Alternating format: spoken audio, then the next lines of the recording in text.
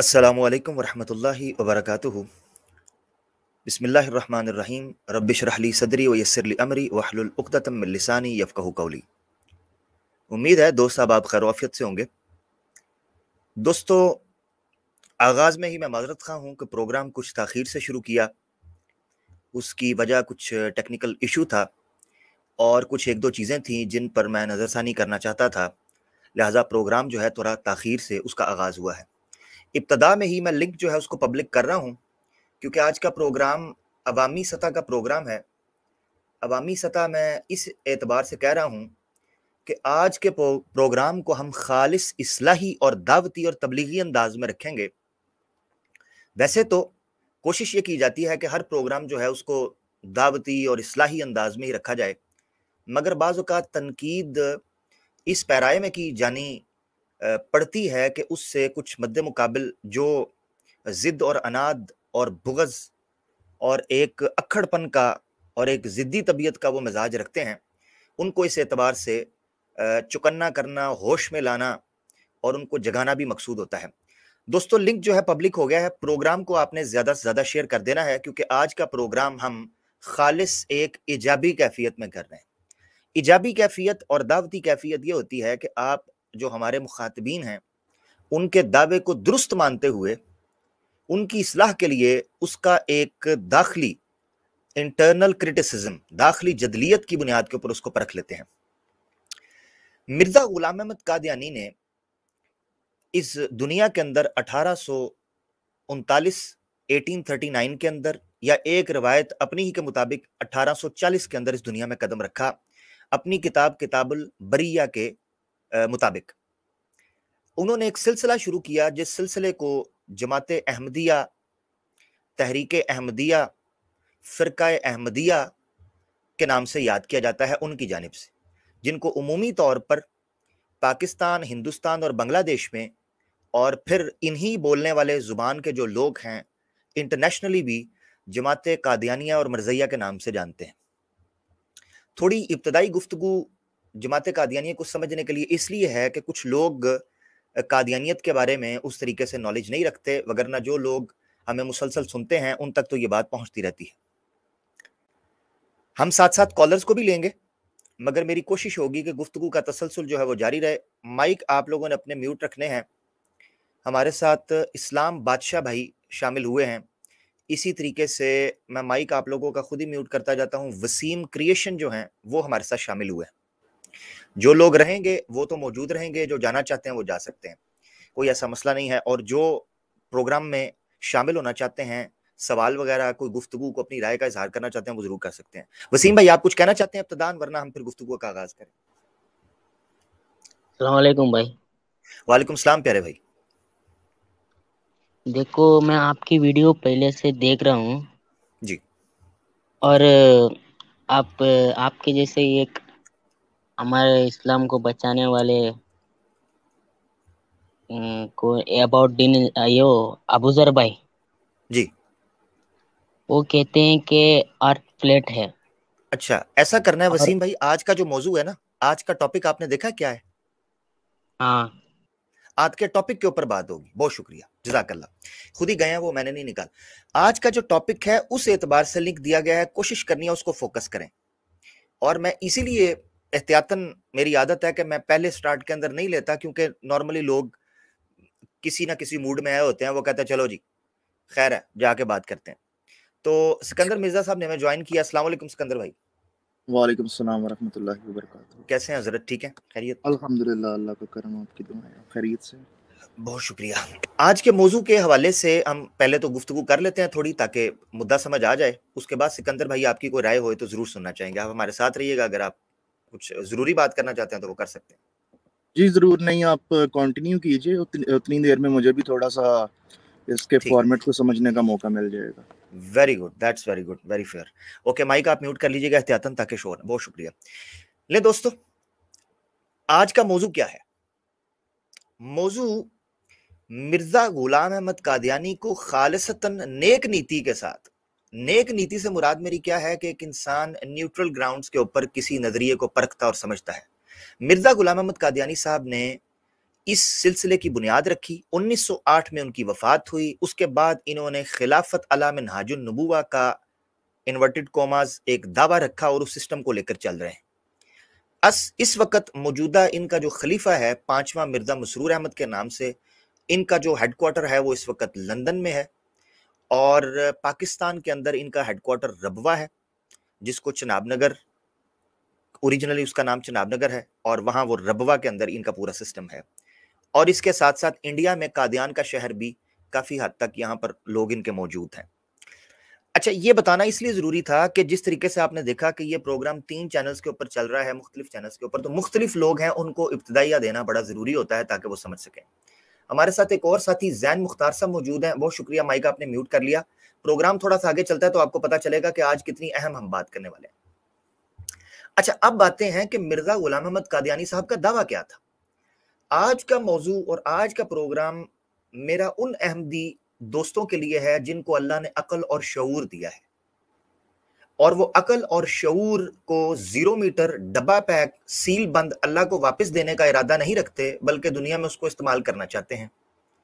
कुरान में अल्लाह ताला कहते हैं, बाद रजीम इन समा वल बसरा वल फुआदा, कुल्लु उलाई का काना अनहु मसूला आपकी समात और बसारत, ये वो टूल्स हैं जिनसे इंसान एक्सटर्नल एविडेंसेस या एक्सपेरिमेंट्स और ऑब्जर्वेशन इकट्ठी करता है। वल्फ आदा और फिर इकट्ठा करने के बाद उसके अंदर एक प्रोसेस है जिससे वो परखता है, छननी पर। ठीक है ना? तराजू पर, कसवटी पर परखता है। वो है फुआद। यानी आपका कॉन्शियसनेस आपका शूर आपका जमीर, आपका अंदर का इंटेलेक्ट ठीक है जी? आपके खिरद और आपकी अकलमंदी, आपकी दानिशमंदी, ये आपके अंदर है। इससे परख कर फिर आप नतीजा निकालते हैं कि क्या चीज़ ठीक है, क्या गलत है। ये सारा प्रोसेस और ये सारे टूल्स कल क्यामत के दिन अल्लाह ने पूछना है कि इनको कहाँ यूज़ किया, कहाँ लगाया। ये है शायद का मतम नज़र और मतलब। तो उन अहमदियों को आज मैं मुखातिब करने वाला हूँ जो अकल को इस्तेमाल और खिरद को और दानिश को इस्तेमाल करना चाहते हैं तो आज वो मेरे मुखातिब हैं। उसके अलावा कोई और अहमदी मेरा मुखातिब नहीं है। मुसलमान तो बहरहाल मेरे मुखातिब आज नहीं है।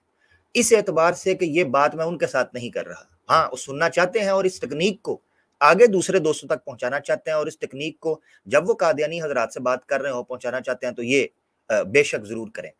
हमारे साथ आसिफ भाई भी आ गए हैं, मैं चाहूँगा माइक म्यूट कर लीजिए, क्योंकि आज मैं थोड़ा सा मौजू ले लूँ तो फिर आपको आगे लेकर चलेंगे। मैंने आपका माइक म्यूट कर दिया तो इसको म्यूट ही रहने दीजिएगा। मिर्ज़ा गुलाम अहमद कादियानी साहब का दावा क्या था? आए आज इसको देखते हैं। क्योंकि याद रखें, जब भी आपने किसी नज़रिए को गलत या सही साबित करना है उस क्लेम को समझना और उसको जांचना और परखना सबसे इंपॉर्टेंट है। मसला हम कादियानियों को काफिर या गैर मुस्लिम इसलिए नहीं कहते कि उन्होंने मेरी घर की बेल बजाकर भाग गए थे या मेरी कोई चीज़ चुरा ली है या मेरा कोई जाती प्रॉपर्टी का, जायदाद का ज़मीन बारी का, कारोबार का कोई मसला है। मसला यहाँ नज़रिए का और अकीदे का है। वो क्या दावा था जो मिर्ज़ा साहब ने सबसे पहले रखा? और वो क्या दावा है जिसके ऊपर कादियानियत की बुनियाद है? बाज लोग ये कहते हैं कि मिर्ज़ा गुलाम अहमद कादियानी ने नबूवत का दावा किया। बाज कहते हैं उसने खुदा होने का दावा किया। बाज कहते हैं उसने मोहम्मद रसूलुल्लाह होने का दावा किया, सल्लल्लाहु अलैहि वसल्लम नाउजुबिल्लाह बाज कहते हैं उसने खुद पर कुरान नाजिल होने का दावा किया। बाज कहते हैं कि उसने और मुतद दावे किए, यानी मिसाल के तौर पर ईसा सलाम होने का, मुजद्दद होने का, मसीह होने का, महदी माहूद होने का मसील मसीह होने का, यानी मुतद दावे किए। मगर ये याद रखें, जमात अहमदिया जिस बुनियादी दावे को लेकर आज चल रही है ना, वो एक दावा है। वो पता क्या दावा है? और उस दावे के दो हिस्से हैं। जैसे क्वाइन के टू साइड्स होती हैं, इस दावे की भी दो साइड्स हैं। नंबर एक, ईसा सलाम फोत हो चुके हैं, और नंबर दो, जो आने वाला था, वो मिर्ज़ा गुलाम कादियानी है। ये क्रक्स है, कादियानियत के बुनियाद है, और मगज है, और मरकज है, जो उनका बुनियादी दावा है। नंबर एक, ईसा सलाम फौत हो चुके हैं और जिसने आना था वो मिर्ज़ा गुलाम अहमद कादियानी। है आज हम इन्हीं दो दावों को परखते हैं, मगर एक और अंदाज से। ज़्यादा डिटेल, ज़्यादा को टेक्निकल, ज़्यादा को इल्मी, कोई जनाब कोई तहकीकी बात नहीं करनी सीधी सीधी बात रखनी है। एक आयत आपके सामने रखता हूँ और आम अहमदियों से मेरी गुजारिश है कि आपने इस आयत को बगौर देख लेना है मेरे इस्तदलाल को भी देख लेना है और उसके बाद जो दलाल मैं रखूँगा, उनको भी समझना है। एक आयत पहले रख लेते हैं, जिससे मैंने बुनियाद बनानी है कि मिर्ज़ा गुलाम अहमद कादियानी साहब के आया ये दो दावे इसी तरह क्लियर क्रिस्टल क्लियर थे, जिस तरह आज कादियानियत को पैक करके रखे गए हैं कि जनाब इनकी तबलीग करो और इनको लेकर चलो। ये आयत आपकी स्क्रीन के ऊपर। सूर्य मायदा की आयत 77 अल्लाह ताला अहले किताब के बारे में एक चीज़ बयान फरमा रहे हैं। और याद रखें मुसलमानों के लिए अहले किताब की गलतियाँ और कुताहियाँ बहुत अहमियत की हामिल हैं। सूर्य फातिहा में भी अल्लाह ने जो कहा कि, ए अल्लाह, ये अल्लाह ने हमें दुआ सिखाई कि लोगों कहो कि इस दिन सरातल मुस्तकीम, हमें रास्ता दिखा सीधे लोगों का, ना कि उन लोगों का जो गुमराह हुए और जलालत में चले गए और अजाब के मुस्तक हुए। मुफसरीन कहते हैं, अहले किताब मुराद। यानी हर वो कौम जिसने हमसे पहले गलतियाँ कुताइयाँ की और अल्लाह के अजाब की मुस्तक बनी, उनसे बचने का नाम है इस्लाम और सरत मुस्तकीम पर चलना। इसी तरीके से आका दो जहाँ सल्लल्लाहु अलैहि वसल्लम ने कहा कि तुम अहले किताब की जो बुराइयाँ हैं उनसे बचना, क्योंकि जिसने उनकी मुशाबत की, गोया वो उन्हीं में से हो गया। मन तशब्बा बिकौमिन फ़हु मिन इसी तरह अल्लाह ताला ने अहले किताब के तरीके पर चलने से मना फरमाया जहाँ वो गलती पर थे। यहाँ भी हु इसी मुद्दे को दोबारा बयान किया जा रहा है तो अहमदी दोस्तों से कहता हूँ, जरा इस आयत को अपने सामने रखी। आउज़बिल्लाहिमिनश्शैतानिर्रजीम अल्लाह फरमाते हैं, कुल, ए नबी, कहें, या अहलल किताबी, ला तगलू फ़ी दीनिकुम गैरल हक।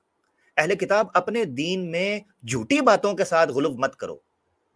एग्जेजुरेट ना करो, मुबालगा राई ना करो, ज्यादती ना करो। इफरात और तफरीद का शिकार मत हो जाओ। वला तत्तबे इसको मैंने अंडरलाइन रखा हुआ है। इसको आपने देखना यह है मेरा आज का मुद्दा। तो अल्लाह फरमाते हैं, वला तत्तबे अहवा कौमिन, और ना पैरवी करो तुम ऐसी कौम की, कद जल्लू मिन कबलू, जो पहले गुमराह रह चुकी हो। ऐसी कौम की पैरवी मत करना, जो गुमराह रह चुकी हुई हो। वह अजल्लू, और वो गुमराह करती भी हो। कसीरन बहुत लोगों को। वह जल्लू अनसवा इस सबील, और वो सीधे रस्ते से हट चुकी हो, गुमराह हो चुकी हुई हो। अब ये जो रेड में अंडरलाइन है ना, इसका मुद्दा है आज जो हम डिस्कस करने वाले हैं। यानी साफ़ तौर पर कुरान में कहा जा रहा है कि ऐसी कौम की पैरवी मत करना अहमदी दोस्तों, जो पहले गुमराह रह चुकी हुई हो। अब आप कहेंगे, इससे आमिर हक की मुराद क्या है? मुराद पता क्या है? मुराद ये है कि दो बुनियादी अकीदे मैंने आपके सामने रखे जो आम तौर पर कादियानियों की तरफ़ से बुनियादी अकीदों के तौर पर पेश किए जाते हैं। मिसाल के तौर पर मिर्ज़ा गुलाम अहमद कादियानी को ये कहते हैं मसीह माऊद। ये प्रोमिस्ड मसाया है, नंबर एक। और नंबर दो, ईसा सलाम फौत हो चुके हुए हैं। यानी पहले ईसा को फौत साबित करते हैं, उसके बाद जब सवाल उठता है कि ईसा अगर फौत मान लिए जाएँ तो वो तमाम सही तबातुर की हदीस जिसमें लिखा है कि ईसा सलाम कुर्ब क़्यामत में आएँगे तो वो कौन होगा? फिर अगर ईसा सलाम फौत हो चुके हैं तो वो कहेंगे, जी, असल में वो हकीकी मानों में नहीं आना था, वो एक तमसीली और इस्तारे और एक तशबी के माना में आना था, मजाजी मानों में। तो उससे मुराद है मिर्ज़ा गुलाम अहमद कादियानी। ये वो फार्मूला है, plus is equal to brackets of का, कि जिसके बाद नतीजा ये निकालते हैं कि चूँकि ईसा सलाम फौत होकर दोबारा नहीं आ सकते, इसलिए जिसने आना है वो तमसीली तौर पर मिर्ज़ा गुलाम अहमद कादियानी है। ये वो सारा आपके सामने अकीदा प्लेट के अंदर मैंने रखकर निकाल के दे दिया है क्रक्स। अब हमने इन दोनों कीदों को परखना है। तो आपने समझ लिया? अच्छा।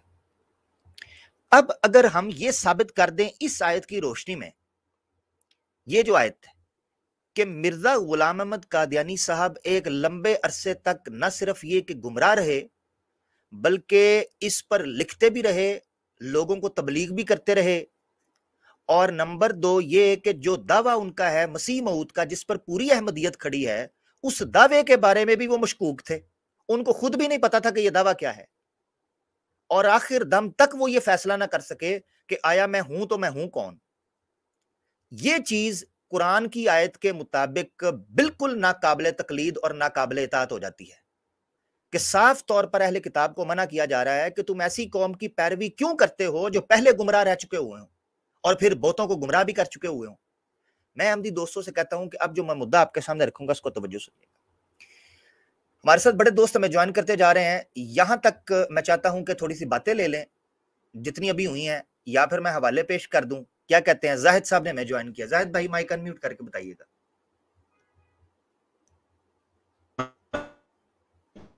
आवाज़ ब्रेक हो रही है आपकी। आवाज़ ब्रेक हो रही है, प्यारे भाई। इसका मतलब है रहने दें। आप अभी रहने दें। आ, मेरे ख्याल से मैं टॉपिक को कंटिन्यू करता हूँ। माइक म्यूट कर लीजिए आप या रीज्वाइन कर लीजिए। अच्छा और दोस्तों ने भी ज्वाइन किया जो नीचे बैठे हुए हैं। दुख मत कीजिएगा थोड़ा सा मौजू को लेकर चलें आप साथ रहें फिर हम क्वेश्चन आंसर सेशन डेफिनेटली लेने वाले हैं। अच्छा मेरी पहली दलील क्या है? आगाज़ कहाँ से होता है? ईसा सलाम की वफात से आगाज़ करते हैं क्योंकि मैंने कहा ये वो सिक्का है जिसके दो रुख हैं। पहला रुख क्या है? ईसा सलाम की वफात। क्या मिर्ज़ा गुलाम अहमद कादयानी ईसा सलाम की वफात के शुरू से ही कायल थे? एक आम अहमदी से मैं मुखातिब करता हूँ। वो तो पहले हयात के कायल थे। जी हाँ ईसा सलाम की हयात के कायल थे, मिर्ज़ा गुलाम कादयानी साहब पहले दोस्तों। और जब वो हयात के कायल थे और बाद में वफात के कायल हो गए तो पहले गुमराह थे या बाद में गुमराह थे? अगर कहें पहले गुमराह थे तो फिर कुरान की ईसायत के मुताबिक उनकी तबाह नहीं हो सकती।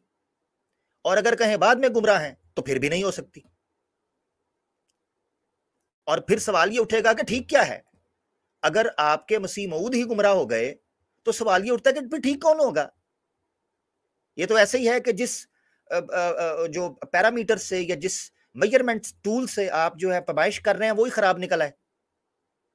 अच्छा ईसा सलाम की हयात के वो कायल थे, ये एक ऐसी किताब से हवाला देने लगा हूँ, जिस किताब के बारे में क्या कहते हैं मिर्ज़ा साहब, ये आप देखिए। बराहीन अहमदिया रूहानी खजान जल्द इक्कीस है, सफ़ा दो सौ पचहत्तर के हाशिए में मिर्ज़ा साहब लिखते हैं कि जब बराहीन अहमदिया नामी किताब, में तसनीफ कर रहा था, ये उस जमाने के करीब करीब के ज़माने में, और मैं अभी इल्म भी हासिल कर रहा था, मशगूल था, और अभी ये समझें कि अभी शुरू भी नहीं की थी किताब, तस्वुर था। तो कहते हैं हज़रत सल्लल्लाहु अलैहि वसल्लम ने इस किताब यानी ख्वाब में नबी पाक सल्लल्लाहु अलैहि वसल्लम आए, और पीछे लिखा भी है, खातमुल अंबिया को ख्वाब में देखा। उन्होंने इस किताब को देखकर अरबी ज़ुबान में पूछा कि तूने इस किताब का क्या नाम रखा है? खाकसार यानी मिर्ज़ा कादियानी ने अर्ज़ किया कि इसका नाम मैंने कुतुब रखा है। कुतुब एक सितारे को कहते हैं, जिस नॉर्थ स्टार होता है। जिस नाम की ताबीर अब इस इस इश्तिहारी किताब की तालीफ होने पर यह खुली कि वो ऐसी किताब है, कौन सी? इब्राहिम अहमदिया, जो कुतुब सितारे, नॉर्थ स्टार की तरह गैर मुतजलजल और मुस्तकम है। यानी इब्राहिम अहमदिया ऐसी किताब होगी जो गैर मुतजलजल और मुस्तकम है। नॉर्थ स्टार का यहाँ वाला दिया, कुतुब सितारा। नॉर्थ स्टार के बारे में जो लोग जानते हैं, उनको पता होना चाहिए कि नॉर्थ स्टार अर्थ की कोई मूवमेंट हो, उस मूवमेंट से वो अपनी पोजीशन नहीं बदलता। और कई सालों से, बल्कि कई दिहाइयों से, बल्कि कई सदियों से लोग कह रहे हैं कि नॉर्थ स्टार अपनी पोजीशन नहीं बदलता, उसकी पोजीशन अपनी जगह के ऊपर है। तो मकसद ये कहने का हुआ ब्राहीन अहमदिया को कहने का कि कई दिहाइयाँ, कई सौ साल, कई हज़ार साल गुजर जाएँ। ब्राहीन अहमदिया के जो नजरियात हैं, या जो अकायद हैं, या जो तालीमत हैं, या जो बातें हैं, ऐसी किताब है जो गैर मुतजलजल है। कभी भी हटेगी नहीं, कभी भी फिरेगी नहीं अपने मुद्दा से। तो ये समझना बड़ा ज़रूरी है कि इस किताब को उन्होंने बराहीन अहमदिया कहा हुआ है। कुतुब कुतुब कहा हुआ है, कुतुबी सितारा। इसमें क्या लिखा हुआ है बराहीन अहमदिया के अंदर आया, अब मैं आपको वो दिखाता हूँ। देखें जरा। रूहानी खजाइन जिल्द एक, सफ़ा पाँच सौ तिरानवे पर अहमदी दोस्तों बराहीन अहमदिया के हिस्से में वो फरमाते हैं, एक आयत पेश करते हैं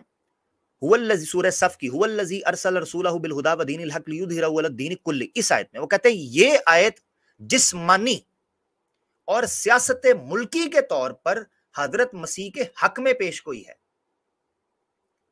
हज़रत मसीह, यानी ईसा सलाम की। कौन सी? जिस्मानी और सियासत मुल्की। जिस्मानी और सियासत मुल्की, इस पर मैं ज़ोर क्यों दे रहा हूँ?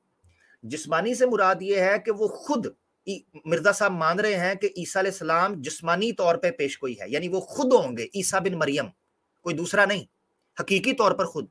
और सियासत मुल्की के तौर पर, इससे ये पता चलता है कि वो सियासत के अंदर पार्टिसिपेट करेंगे। रूहानी, सूफी फकीरी, दरवेशी और रहबानी। और जनाब ये ये जो, ये संत बाबा, इस तरह की उनकी ज़िंदगी नहीं होगी, सियासत मुल्की। तो ना तो मिर्ज़ा कादियानी साहब जिस्मानी तौर पर ईसा बिन मरियम थे, ना वो सियासत मुल्की के अंदर कोई हिस्सा लेते थे, ना को पॉलिटिकल उनका कैरियर था। तो ये आयत तो वो कह रहे हैं साफ़ साफ़ ईसा सलाम के बारे में है। अब आगे देख लें, हाईलाइटेड भारत को देखें। कहते, और जब हज़रत मसीह सलाम दोबारा इस दुनिया में तशरीफ़ लाएँगे, ये इबारत बता रही है कि दोबारा वही आ सकता है जो पहले आया हो। ज़्यादा ज़ोर देने की मुझे ज़रूरत नहीं है इतनी आम बात। तो उनके हाथ से दीन इस्लाम जमी आफाक और अख्तार में फैल जाएगा। इससे ये पता चलता है, उनके हाथ से से मुराद ये है कि उनकी ज़िंदगी के अंदर ये काम होगा। जबकि मिर्ज़ा गुलाम अहमद कादियानी साहब की ज़िंदगी के अंदर तो ये काम भी नहीं हो सका। तो उनके हाथ से यहाँ अल्फाज अच्छा आगे ग्रीन में देखिए। यहाँ पर ग्रीन के अंदर साफ़ तौर पर मिर्ज़ा साहब ने अपने इस तरह होने का इनकार किया है। इससे भी साफ़ पता चलता है कि मिर्ज़ा कादियानी साहब उनके जिस्मानी और सियासी तौर पर दोबारा आने के कायल थे। उनकी ज़िंदगी के कायल थे। ये देखिए क्या लिखते हैं।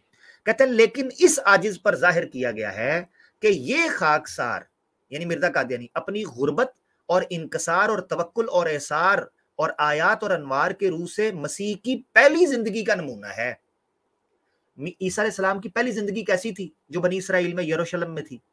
वो दरवेशी की ज़िंदगी थी। वो फकर की ज़िंदगी थी। वो अखलाक की ज़िंदगी थी। वो तबलीग की ज़िंदगी थी। वो तो सियासत की ज़िंदगी नहीं थी। तो कहते हैं वो पहली ज़िंदगी का नमूना है और इस आजिज की फितरत और मसीह की फितरत बाहम नहायत ही मुतशाबे वाक़ हुई है। इस हवाले से पता चलता है कि मिर्ज़ा साहब नंबर एक जिस्मानी, नंबर दो उनके सियासत मुल्की और नंबर तीन उनकी ज़िंदगी में दीन इस्लाम के अकतारों और किनारों तक पहुँचने के कायल थे दीन इस्लाम के। और यहाँ से पता चलता है कि वो ईसा इस्लाम की हयात के कायल थे। अच्छा यहाँ से पता चल गया और ये किताब कौन सी है? बराहीन मैंने बताया। दूसरा वाला ले लें। इससे एक और मज़े की चीज़ भी आपको पता चलेगी। ये भी रूहानी खजान जिल्द अव्वल है।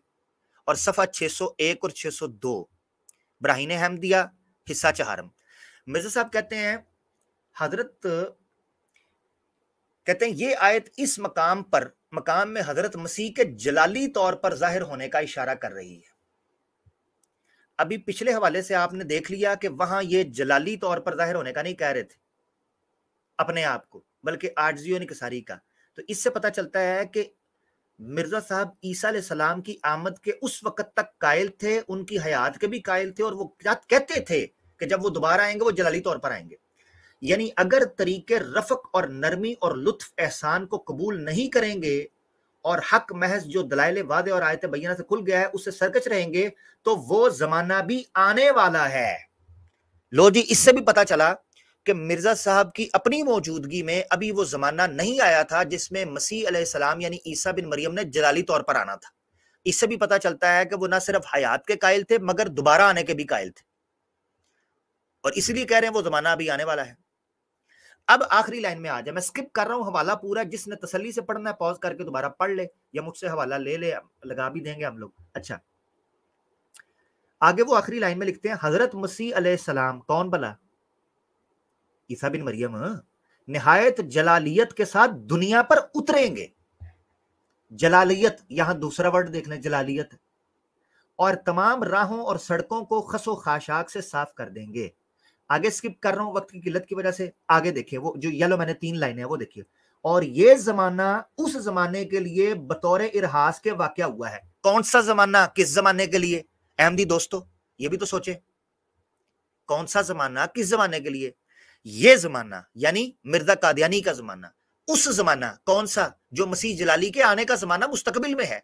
बतौर इरहास के वाक्य हुआ है, यानी बतौर वार्निंग के, बतौर वार्निंग के वाक्य हुआ है। यानी इस, उस वक्त जलाली तौर पर खुदाए ताला इतमाम हुज्जत करेगा, अब बजाय उसके जमाली तौर पर, यानी रफक और एहसान से इतमाम हुज्जत कर रहा है। यानी मिर्ज़ा साहब ने अपने आप को ईसा सलाम के यहाँ तक मसील तो करार दिया, मगर मसील भी जमाली कहा, जलाली ना कहा। इससे पता चलता है कि मिर्ज़ा साहब आखिरी जमाने में ईसा सलाम के जिस्मानी और जलाली तौर पर उतरने के न सिर्फ़ ये कायल थे, बल्कि उनकी हयात के भी कायल थे। तभी तो कह रहे हैं कि यह जमाना दोबारा आएगा, आगे जाकर। अच्छा ये भी ब्राहीन अहमदिया का वाला है, जिस बारे में मैं कह चुका हूँ कि नॉर्थ स्टार है ये किताब। नॉर्थ स्टार का मतलब क्या है? ये किताब कभी बदल नहीं सकती अपने। अब मिर्ज़ा साहब कह रहे हैं जी मेरा अकीदा क्या था? ये भी आप हवाला देख लें। इसमें भी मिर्ज़ा साहब ने साफ़ कहा है। ये हवाला भी अपनी नोयत का एक अहम हवाला है जी। तवज्जो से इसको भी देखिएगा। आपकी स्क्रीन के ऊपर आ गया जी हवाला? ये आपको बता दे दोस्त मुझे नज़र नहीं आ रहा। यार है नज़र जी। जी जी अच्छा आमिर भाई आ रहे हैं। अच्छा आ रहा है? बड़ी बात है, मुझे क्यों नज़र नहीं आ रहा? है अच्छा हाँ अब आया, ठीक हो गया। अच्छा रूहानी खजाइन, जिल्द 22 सफ़ा एक सौ तिरपन पर। यह हकीकत वही नामी किताब है, आखिरी जमाने की ये किताबों में से है 1907 आठ की, जब वो फौत हुए हैं, उन जमाने की ये किताबें हैं। मिर्ज़ा साहब कहते हैं, मैंने ये लिखा था कि बिन मरियम आसमान से नाजिल होगा, खुद मान रहे हैं कि मेरा ये अकीदा था कि ईसा बिन मरियम आसमान से नाजिल होगे मगर बाद में मैं ये लिखा कि आने वाला वसी मैं ही हूँ इस तनाकुज का भी यही सबब था। मिर्ज़ा साहब खुद पता था कि पहले मैं ये लिख आया हूँ कि ईसा सलाम ज़िंदा भी हैं आसमान से नाजिल होंगे और अब मैं बिल्कुल उसके बरअक्स बात कर रहा हूँ। अहमदी दोस्तों, कुरान की जो आयत मैंने पढ़ी है, उस एतबार से भी इस चीज़ को आपने ज़रूर सामने रखना है। अब वो कहते हैं, उसका सबब भी यही था कि अगरचे खुदा तला ने इब्राहिम अहमदिया में मेरा नाम ईसा रखा। अब वो कहते हैं, जी, मेरा नाम ईसा रखा था। चलो मेरा भी यही एतकाद था कि हज़रत ईसा आसमान पर से नाजिल होंगे।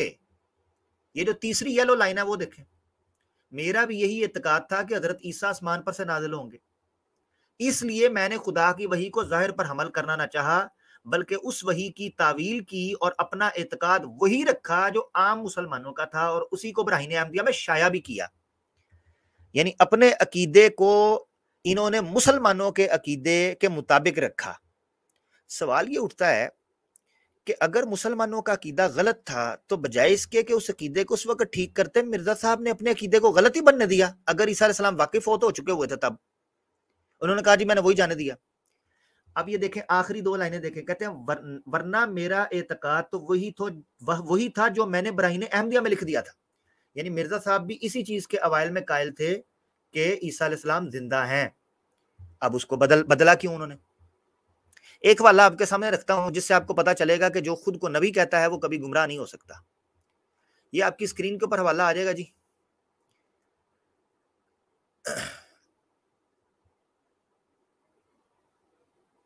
हवाला क्यों? हाँ ये, रूहानी खजान, जिल्द पाँच, सफ़ा एक सौ सत्तर, आयना कमालत इस्लाम। इसमें मिर्ज़ा साहब एक आयत वजादा का दौलन फहादा की तफसीर करते हुए एक जुमला लिखते हैं, उसूल के तौर पर। कहते हैं, हालाँकि हज़रत वसल्लम कभी गुमराह नहीं हुए। सवाल ये उठता है कि अगर एक नबी का ये उसूल है तो सब नबी का यही उसूल है। और है भी सिफाती, और हकीकत भी ये है कि नबी कभी गुमराह नहीं होते। इससे ये पता चलता है कि मिर्ज़ा साहब ने जो अकीदा पहले रखा हुआ था, वो ठीक था या बाद का ठीक था, बाहर सूरत मिर्ज़ा साहब एक वक्त के अंदर तो गलत थे। या पहले गलत थे या बाद में गलत थे। ये फैसला अब आम अहमदी ने करना है। अगर पहले गलत थे तो सूर्य मायदा की आयत 77 के मुताबिक तब भी उनकी पैरवी नहीं हो सकती।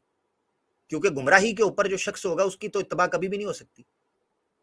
और जो गुमराह रह सकता हो, वो तो कभी भी काबिल इतबा नहीं हो सकता। इसीलिए तो हम आम आदमियों की, आम इंसानों की पैरवी नहीं करते, बल्कि नबी की पैरवी करते हैं।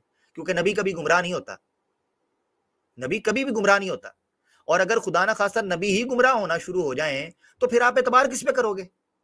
फिर तो हर इंसान जो है ना, वो बराबर हो जाएगा। तो आपको एतमाद नहीं रहेगा। और इतात का शौक और जज्बा भी खत्म हो जाएगा। इसकी मिसाल ऐसे ही समझें कि मैं किसी ऐसे इंसान की पैरवी करना ज़्यादा पसंद करूँगा जो इनफालेबल हो, मासूम हो, कभी खता ना करता हो। अगर वो भी मेरी तरह ही खता करेगा तो मेरे अंदर क्या जज्बा और चाहत और एक अट्रैक्शन और ग्लैमर रह जाएगा कि मैं इसकी तबाह करूँ? मैं कहूँगा, यार, तू भी गलती करनी है ना, मैं तेनों क्यों मानना? जो तुमने भी गलती करनी है तो मैंने भी करनी है, मैं अपनी मान के चलता हूँ। तो नबियों और गैर नबियों में यही तो फ़र्क होता है। तो मिर्ज़ा साहब तो गुमराह रह चुके हैं पहले। और किस तरह रह चुके हैं? क्यों गुमराह रह चुके हैं? आए, अब एक दम अकीदे में शिफ्ट होने लगा है, वो मैं आपके सामने रखता हूँ। आम अहमदी दोस्तों के लिए। और ये जिस किताब का हवाला देने लगा ना, सर, ये किताब बड़ी अहम है। खुतबा इल्हामिया मिर्ज़ा साहब की इल्हामी किताब है, और ये चैलेंज के तौर पर लिखी थी। इसमें रूहानी खजान जिल 16 सफ़ा 93 के ऊपर खुतबा इल्हामिया में मिर्ज़ा साहब कहते हैं, फमा लकुम अब ये जुमले आपने गौर करने हैं, आम अहमदी दोस्तों, खुदा का वास्ता है। आम अहमदियों से मैं मुखातिब हूँ। अगर अपनी इसलाह चाहते हो, अपने, अगर अपनी दुरुस्तगी चाहते हो तो मेरे आज इस मौकफ को पूरे इतमान का साथ सुनो, मैंने कोई सख्त जुमला नहीं बोलूँगा। ना कोई गाली गलोच करता हूँ मैं, ना मैं कोई तनकीद बराए तनकीद करता हूँ। मेरी गुफ्तगु को सुनो, मेरे हवालों को सामने रखो और उस पर बात करो, समझो? तो देखें, वो क्या कहते हैं? अल्लाह पहले खुद इंतज़ार कर रहे थे ईसा के आने का। अब क्या कहते हैं? कहते हैं जी, फमालकुम लिमत अंतदिरून नजूल हाँ फमालकुम लिमत अंतदिरून नजूल मसीह मिन समाई। और तुम लोगों को क्या हो गया है कि तुम मसीह का इंतज़ार आसमान से आने का कर रहे हो? अनसी तुम मा तकराऊन फिल कुरानी और रदई तुम भी तकदीबी कलामी रबिकुम आला। क्या तुम भूल चुके हो जो तुम कुरान में पढ़ते हो, या तुम अल्लाह के कलाम की तकदीब पर राज़ी हो चुके हुए हो? इससे क्या पता चला? पता ये चला कि जो लोग भी ईसा सलाम के आसमान से नजूल का इंतज़ार कर रहे हैं, वो ना सिर्फ़ ये कि कुरान को भूल चुके हैं, बल्कि तकजीब कर रहे हैं रजामंदी के साथ। अब यही काम तो मिर्ज़ा साहब भी कर रहे थे। और क्या ये बताएँ, क्या जानते बूझते, और मिर्ज़ा साहब कह रहे थे कि मुझे इशारे मिल गए थे, मगर मैं जानते बूझते अपनी सादगी के अंदर अपनी मासूमियत के अंदर मैं वही अकीदा रखा हुआ था जो मुसलमानों ने रखा हुआ था। तो यहाँ मिर्ज़ा साहब कह रहे हैं और रजई तुम भी तकदीबी कलाम रबिकुम आला क्या तुम अपने रब के कलाम की तकदीब पर रजामंदी में, यानी दनिस्ता तौर पर इंटेंशनली ये गुना कर रहे थे? तो सवाल ये उठता है कि क्या तकदीब करना किसी नबी का काम होता है, अल्लाह के कलाम की? आए इसी का अगला सफ़ा देखते हैं, मिर्ज़ा साहब क्या कहते हैं। 94 के ऊपर उन्होंने खुद इसको मुख्तलिफ़ लोगों के मुँह की बातें करार देकर कहा कि क्यों चलते उसके पीछे? वो कहते हैं किताब वाहुआ बहरुम मिनल मारिफी वमा उन असफा। वो कहते हैं, तुम अल्लाह की किताब को छोड़कर चल रहे हो, जबकि वो मारिफ का समुंदर है और साफ़ सुथरा शफाफ पानी है। वह कई फस्तई तुम अन तत्रुकुल फुरकान अल हमीद ली अकवाल शत्ता। कहते हैं, तुम्हारी हिम्मत कैसे हो गई? तुम कैसे इस चीज़ को पसंद कर सकते हो? कि कुरान शरीफ की बातों को तुम लोगों की बातों की वजह से जुटला रहे हो। अतस्तबदीरून हुआ अदना बिल्लदी हुआ खैर, व इन ला युगनी मिनल हक की शैया कहते हैं, तुम एक अच्छी चीज़ को छोड़कर अदना चीज़ की तरफ़ जाते हो और जन की बात के पीछे चलते हो, जबकि उसमें से हक में कोई फ़ायदा ही नहीं है जन के पीछे चलते हो। मेरे अहमदी दोस्तों, बड़ी तवज्जो तलब ये इबारत है। मैं ये सवाल करता हूँ कि जब मिर्ज़ा साहब ईसा सलाम को ज़िंदा मानते थे और उनके आने के जमाने की पेशगोई की तस्दीक और इंतज़ार भी करते थे और उसकी तरफ़ तवज्जो भी दिलाते थे, बल्कि अपने टाइम को उनके टाइम के लिए वार्निंग कहते थे और एक माइलस्टोन कहते थे और खुद उन्हीं के आने का दावा भी करते थे। उस वक्त उनको नहीं पता चलता था कि ये अदना चीज़ को तरजीह दे रहे हैं खैर के ऊपर और अकवाल इन शत्ता मुतफरक लोगों के अकवाल को अपने ऊपर लागू कर रहे हैं। देखे ना, खुद उन्होंने कहा ना कि मैं जनाब वो यकीदा रखता था जो मुसलमानों ने रख लिया था। ये देखे, हवाला भी मैंने आपके सामने रखा था, दोबारा एक बार आपकी स्क्रीन पर। ठीक है? ये बीच वाली जो येलो की लाइन है, बल्कि उस वही की तावील की और अपना एतकाद वही रखा जो आम मुसलमानों का था और उसी को बराही ने अहमदिया में शाया किया। सवाल ये उठता है कि मिर्ज़ा साहब को नहीं नज़र आया कि मैं कुरान की नाफरमानी कर रहा हूँ? सूरह मायदा की आयत 77 के मुताबिक मिर्ज़ा साहब को हकम अदल नहीं माना जा सकता। अहमदी दोस्तों, मैं आज पूरी ईमानदारी के साथ कहता हूँ कि मैंने पूरी कोशिश की कि मिर्ज़ा कादियानी साहब को अगर हम हकम और अदल माने तो क्या? तो कुरान की आयत ने मुझे रोक दिया। उन्होंने कहा, तुम ऐसे किसी शख्स की पैरवी कर ही नहीं सकते जो गुमराह रह चुका हो पहले और फिर गुमराह कर भी दिया हो लोगों को कई अब ये आपके सामने अब मिर्ज़ा मिर्ज़ा साहब ने इस सारी चीज़ को कवर पता कैसे किया? मादरत के साथ, अहमदी दोस्तों। उन्होंने ये नहीं कहा कि मेरी तहकीक है, मेरा ये है, मेरा वो है, नहीं। उन्होंने कहा मेरी सादगी और मासूमी है। और पूरा सफ़ा उसके ऊपर स्या किया। ये आपके सामने मैं स्क्रीन पर ले भी आऊँगा। मैं चाहता तो था इसके चंद इकतबासात आपके सामने रखूँ, मगर मैंने सिर्फ़ एक ही हवाले के ऊपर तरजीह दी। या एक हवाला आप देखें तो आपको पता चल जाएगा कि मिर्ज़ा साहब क्या कहते हैं। रूहानी खजान की जिल्द उन्नीस है ये दोस्तों, और एक सौ तेरह नंबर सफ़ा है, और किताब बड़ी अहम है, इजाज इजाज अहमदी जमीमा नजूल मसीह। देखे टॉपिक भी वही है। उस पर मैं आपको खुलासा निकाल कर दे देता हूँ कि मिर्ज़ा साहब ने इस पेज सारे पर क्या कहा हुआ है। मिर्ज़ा साहब कहते हैं, मुझे अल्लाह ने बार बार ये इशारा दिया कि भाई, जो मसीह मऊद आना है ना, वो तुम हो। ईसा तो फोत हो चुके हैं। मगर मिर्ज़ा साहब कहते हैं, मैंने एक ना सुनी अल्लाह की, मैंने नहीं मानी। मैं वो यकीदा रखता रहा जो मुसलमानों का कीदा था। ये जो हाईलाइटेड इबारतें हैं, इनको आप पॉज करके रोक के पढ़िएगा। पूरा मैंने सफ़ा लगा दिया है। आप देख ले, आपको पता चल जाएगा कि मिर्ज़ा साहब ने किस तरीके से पहले अकीदा रखा हुआ था और बाद में कैसे अकीदा शिफ्ट हुआ। और आखिरी लाइन देखें, मिर्ज़ा साहब आखिरी लाइन में क्या कहते हैं? इस सफे की आखिरी लाइन में। कहते हैं, मैं खुद ताजुब करता हूँ कि मैंने बावजूद खुली खुली वही के जो बराहीन अहमदिया में मुझे मसीह मऊद बनाती थी, क्यों कर इसी किताब में रस्मी अकीदा लिख दिया है? देख लें आप, मिड वाली लाइन देखें।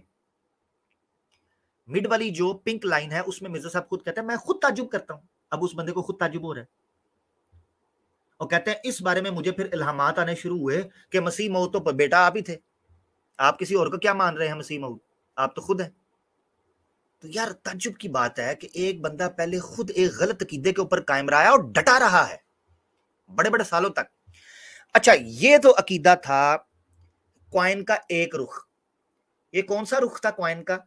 ये रुख था कि ईसा सलाम की हयात के बारे में मिर्ज़ा साहब पहले कुछ थे, बाद में कुछ हुए। सवाल यह है कि पहले गुमराह थे या बाद में गुमराह थे? पहले गलत अकीदा था या बाद में गलत अकीदा था? ये अहमदी दोस्त फैसला करें। बाहर सूरत में इन पर छोड़ता हूँ। अब आ जाता है दूसरा अकीदा। एक मिनट के लिए मान लेते हैं अहमदी दोस्तों। अब ये दूसरा फ़ेज़ शुरू हो गया हमारे प्रोग्राम का। एक मिनट के लिए अहमदी दोस्तों, हम मान लेते हैं कि मिर्ज़ा साहब सच्चे थे। ईसा फोत हो गए और जिसने आना था वो मिर्ज़ा साहब थे। ठीक हो गया? यहाँ तक तो मेरे साथ हैं आप।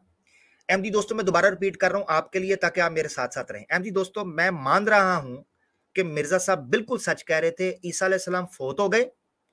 अब वो दोबारा नहीं आ सकते और जिसने आना था वो खुद मिर्ज़ा गुलाम अहमद कादियानी थे। इसीलिए अब हम इस दावे को जांचने लगते हैं कि मिर्ज़ा साहब का इसके बाद दावा क्या है? यानी ईसा सलाम फोत होकर नहीं आ सकते। अब मिर्ज़ा साहब आए हैं तो उनका दावा क्या है? अब यह है सिक्के का दूसरा रुख।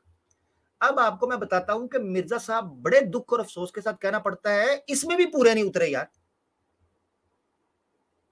अफसोस की बात है, इसमें भी पूरे नहीं उतरे। एक बात ही नहीं की, आए आपको दिखा देता हूँ। अब ये देखें। अच्छा इससे पहले कि मैं हवाला दिखाऊँ, मिर्ज़ा गुलाम अहमद कादियानी साहब को आज भी जमात अहमदिया के लोग मसीह मऊद कहते हैं प्रोमिस्ड मसाया, यही इनका अकीदा है। और यही मिर्ज़ा साहब की किताबों के शुरू में लिखा होता है, अल मसीहुल मऊद, अल महदीउल माहूद ये उनके शुरू लिखा होता है प्रोमिस्ड मसाया अब देखते हैं कि जो मिर्ज़ा साहब को मसीह मऊद कहते हैं, मिर्ज़ा साहब ने जब ये दावा किया तो वो क्या कहते हैं? जरा तवज्जो। मिर्ज़ा साहब रूहानी खजाइन जिल तीन सफ़ा एक सौ बानवे पर लिखते हैं और इजाला ओहाम बड़ी अहम किताबों में से है। याद रहे, बराहीन अहमदिया सॉरी इजाला ओहाम तोज़ी मराम और फ़तेह इस्लाम। ये वो तीन किताबें हैं जिसके बारे में आयना कमालत इस्लाम में मिर्ज़ा साहब कहते हैं कि इन किताबों से जो फ़ायदा हासिल नहीं करता, सारे मुसलमान फ़ायदा हासिल करते हैं, इल्ला ज़ुर्रियत बगाया, मगर जो बास्टर्ड्स हैं, ठीक है बास्टर्ड्स जो हराम ज़्यादा हैं या ज़ुर्रियतुल बगाया, यानी बदकार औरतों के बच्चे हैं, वो इन किताबों से फ़ायदा हासिल नहीं करते। अब ये वही उन किताबों में से एक किताब है, इजाला ओहाम तो अब अहमदी दोस्तों, आप फैसला कर लो कि आपने इस किताब से फ़ायदा हासिल करना है कि नहीं। मैंने तो बहरहाल करना है, क्योंकि मुझे जुरियतुल बगाया बनने का कोई शौक नहीं है। जिसको शौक हो, वो बन सकता है। मैं तो नहीं बन सकता माजरत के साथ। भाई, मुझे तो अपना खौफ अल्लाह से डर आता है। अब ये देखें। वो कहते हैं जी, इजाला अहम, सफ़ा एक सौ बानवे। कहते हैं जी उलमा हिंद की खिदमत में न्याजनामा अब वो ये उलमा हिंद के सामने ये एक पूरा मसला रखने लगे हैं। मैं कट टू शॉर्ट वक्त बचाने के लिए आपके सामने रखता हूँ। कहते हैं, इस आजिज ने जो मसीले मऊद होने का दावा किया है, जिसको कम फहम लोग मसीह मऊद ख्याल कर बैठे हैं। चलो। अब आप, अहमदी दोस्त, जिसको मसीह मऊद मान रहे हैं, वो कहते हैं, मैं मसीह मऊद है ही नहीं, मैं मसीले मऊद हूँ। और जो मुझे मसीह मऊद मानता है, वो कम फहम है, बेवकूफ़ है, जाहल है, अनपढ़, गवार है, अंधा है। ये मैं नहीं कह रहा। कम फहम की यही सनोनम्स हो सकते हैं ना, मुतरादिफात। तो मुझे आप ना कहिएगा कि मैं बदतमीज हूँ। ये कम फहम के मैंने सनोनम्स बोले हैं, ताकि आपको समझ आ जाए। अच्छा आगे क्या कहते हैं? ये कोई नया दावा नहीं, जो आज मेरे ही मुँह से सुना गया है। ये बल्कि वही पुराना इल्हाम है, जो मैंने खुदा ताला से पाकर बराही ने अहमदिया में किया था। लो, इसको बराही ने अहमदिया से लिंक कर दिया। अब तो ये बात और पक्की हो गई, क्योंकि बराही ने अहमदिया तो नॉर्थ स्टार है। वो तो कभी मुतजलजल नहीं हो सकता। यानी मिर्ज़ा साहब का कन्फर्म और पक्का दावा जो था, वो था मसीले मऊद का। मसीह मऊद लोगों की कम अकली की वजह से लोगों ने समझ लिया। अब देखें, जो येलो है मसीब ने मरियम, उससे ऊपर मैं पढ़ता हूँ। कहते हैं, मैंने ये दावा हरगिज नहीं किया कि मैं मसीब ने मरियम हूँ। जो शख्स ये इल्ज़ाम मेरे पर लगावे, वो सरासर मुफ्तरी और कद्दाब है। बल्कि मेरी तरफ़ से अरसा सात या आठ साल से बराबर यही शाया हो रहा है कि मैं मसीले मसीह हूँ। बस यानी मसीले मसीह या मसीले मऊद। ये वो कह रहे हैं, मेरी तरफ़ से ये चीज़ छाया हुआ है। लो जी, यहाँ तक ठीक हो गया। अच्छा एक और खत मिर्ज़ा साहब ने मौलवी अब्दुल जब्बार साहब को लिखा, जो मकतूबात अहमदिया जल्द अव्वल पुराना शुमारा जो है, उसके सफ़ा 270 के ऊपर है। इसको भी कट टू शॉर्ट में मुख्तसर सुनाता हूँ कि मिर्ज़ा साहब, उसमें भी अपना मसीले मसीह या मसीह मऊद किस दावे को तरजीह दे रहे हैं, ये आपने देखना है। वो कहते हैं, ये बात सच है कि अल्लाह जल्ला शानू की वही और इल्हाम से मैंने मसीले मसीह होने का दावा किया है। मसीह मऊद नहीं, मसीले मसीह होने का दावा किया है। और ये भी मेरे पर ज़ाहिर किया गया है कि मेरे बारे में पहले से कुरान शरीफ और अहदीस नबविया में खबर दी गई है। ठीक हो गया? अब वो आगे क्या कहते हैं? कहते हैं, सो मैं इसी लहाम की बना पर अपने ताई वो मऊद मसील समझता हूँ, जिसको दूसरे लोग गलत फहमी की वजह से मसीह मऊद कहते हैं। चले। वो कहते हैं कि मैं ऐसा मसीले मसीह हूँ हाँ जिसका वादा किया गया था, मगर लोग गलत फहमी की वजह से मसीह मऊद कहते हैं। अब मज़े की बात यह है कि यहाँ पर ब्रेक नहीं। मिर्ज़ा साहब ने तो आगे नया दरवाज़ा खोल दिया। अहमदी दोस्तों, तवज्जो कीजिएगा। मिर्ज़ा साहब कहते हैं, मुझे इस बात से इनकार भी नहीं कि मेरे सिवा कोई और मसीले मसीह भी आने वाला हो। यानी मिर्ज़ा साहब कहते हैं, मुझे ये इनकार नहीं है कि मेरे बाद कोई आएगा नहीं। बल्कि आने वाला तो खुद मेरे पर भी ज़ाहिर किया गया है, जो मेरी जुरियत में से होगा। लो। यानी एक और आना है। अहमदी दोस्तों, ये अकीदा तो बड़ा कॉम्प्लिकेट होता जा रहा है।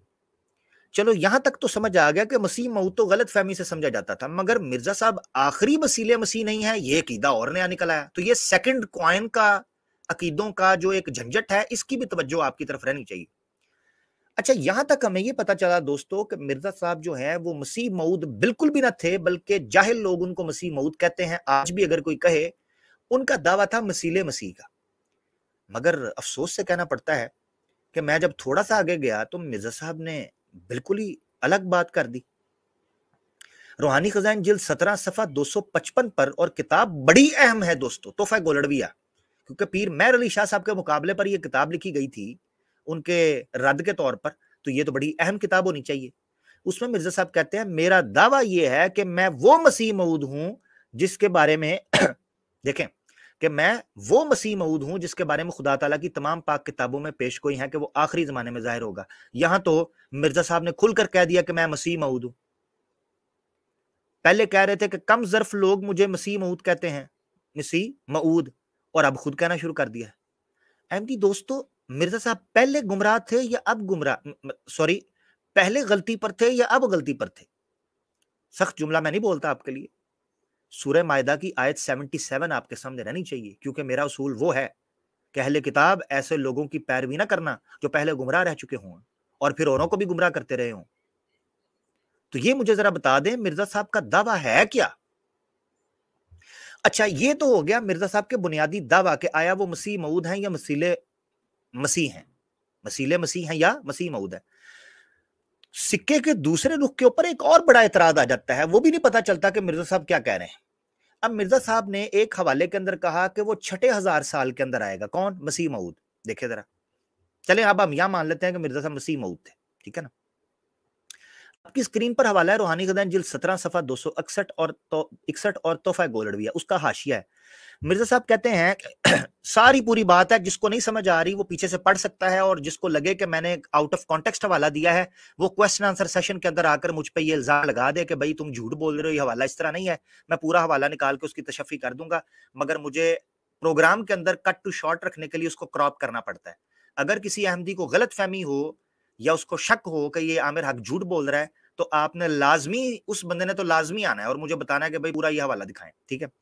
अच्छा वो अब यहाँ पूरी बात करने के बाद पीछे वो दलाइल दे रहे हैं, साल दस साल और ज़मीन व आसमान की तख्लीक के हवाले से और छठा दिन और फलाना दिन और आदम सलाम के साथ अपनी तशबी भी बयान कर रहे हैं, उसमें ये कहते हैं, अब साबित हुआ कि तकमील इशात पीछे वो लिखते हैं, तकमील इशात मसीह मऊद के ज़रिए से होगी, तकमील इशात पता किसे कह रहे हैं जी? ये अगले हवाले में पता चलेगा। क्यों? क्योंकि उस हवाले में नबी पाक सल्लल्लाहु अलैहि वसल्लम के ऊपर तोहीन भी की गई है। मेरे मेरे ख्याल से, मेरी मेरी नज़र के मुताबिक अगर किसी अहमदी को वो तोहीन नहीं लगती तो वो उसकी मर्ज़ी है। कहते जी, अब साबित हुआ कि तकमील इशात हज़ार शशम में होगी, इसलिए नतीजा ये निकला कि मसीह मऊद हज़ार शशम में मबूस होगा। नंबर एक, तकमील इशात किसकी? दीन इस्लाम की। यानी मिर्ज़ा साहब के बकौल इशात की, इशात इस्लाम की जो तकमील है, वो नबी पाक के ज़माने में पूरी नहीं हुई थी, क्योंकि अगले वाले में मैं दिखाता हूँ। अच्छा नंबर एक तो तकमील इशात नहीं हुई, वो होगी, और कब होगी? हज़ार शशम में, हज़ार शशम के अंदर होगी। आगाज़ में कर लें इख्ताम में कर लें या अंदर कर लें, हज़ार शशम के अंदर अंदर होगी। इसलिए नतीजा ये निकला कि मसीह मऊद हज़ार शशम में मबूस होगा। यानी जो मिर्ज़ा साहब हैं, वो हज़ार शशम, यानी प्रॉमिस मसाया जो है, हज़ार शशम के अंदर आएगा। मगर अफसोस से कहना पड़ता है कि मिर्ज़ा साहब अगले ही हवाले के अंदर बिल्कुल ही बदल गए। आपकी स्क्रीन के ऊपर हवाला आ जाता है। रूहानी खजान जिल्द अठारह सफ़ा 232 पे दाफिल उबला नामी किताब है। मिर्ज़ा साहब उसमें कहते हैं, मिर्ज़ा साहब कहते हैं कि जो तमाम नबियों की पेश अच्छा पीछे से पढ़ लेता हूँ थोड़ा सा। बल्कि एक ही सबब है और वो ये कि लोगों ने खुदा के इस मऊद यानी ताउन जो आया था, मिर्ज़ा साहब कहते हैं वो मेरे इनकार की वजह से आया जैसे अभी कहते हैं कोरोना जो है वो इस वजह से आया कहते हैं ये लोगों ने खुदा के इस मऊद के मानने से इनकार किया है, जो तमाम नबियों की पेश गोई के मुआफिक दुनिया के सातवें हज़ार में ज़ाहिर होगा। समझ रहे सातवें हज़ार में ज़ाहिर होगा और लोगों ने ना सिर्फ़ इनकार बल्कि खुदा के इस मसीह को गालियाँ दी। काफिर कहा और कत्ल करना चाहा और जो कुछ चाहा उससे किया। इससे मेरी मुराद क्या है? मिर्ज़ा साहब पहले कह रहे हैं छठे हज़ार में आएगा, बाद में कह रहे हैं सातवें हज़ार में आएगा। अहमदी दोस्तों, पहले मिर्ज़ा साहब गलती पर थे या बाद में है? क्योंकि मसला ये अकीदे का है, छोटा मसला नहीं है। तो पहले गलती पर थे या बाद में गलती पर थे? सवाल यह है कि सूर्य मायदा की आयत 77 आपके पेश नज़र आनी चाहिए। एक और हवाला ले लेते हैं। अब यहाँ तक हमने तय किया कि मिर्ज़ा साहब दावे के एतबार से, यानी हमने ईसा सलाम को वफात शुदा भी मान लिया था, हमने ईसा सलाम की दोबारा वापसी का इनकार भी कर दिया था, और इसके साथ साथ हमने मिर्ज़ा कादियानी साहब की आमद का इकरार भी कर लिया था। मगर मसला ये हुआ कि पहले मिर्ज़ा साहब अपने आप को मसील कहते रहे, बाद में मसीह मऊद कहते रहे, फिर ये कहते रहे, छठे हज़ार में आएगा, फिर कहते रहे, नहीं, सातवें हज़ार में आएगा। अब हम देखते हैं कि मिर्ज़ा साहब इस अकीदे और इस बुनियाद के बारे में क्या कहते हैं। लो जी, इस बारे में भी हमें इख्तलाफ मिलता है। तो रूहानी खुदैन जिल तीन, सफ़ा एक सौ सत्तानवे ओहाम में मिर्ज़ा साहब कहते हैं। मिर्ज़ा साहब कहते हैं मुसन्फिन और महक्कीन खूब समझते हैं कि जिस कदर हाल के बाज मौलवी साहबों ने मुझे अपनी दरीना राय का मुखालिफ ठहराया, गौर करने से मालूम होगा कि दर हकीकत इतनी बड़ी मुखालफत नहीं है।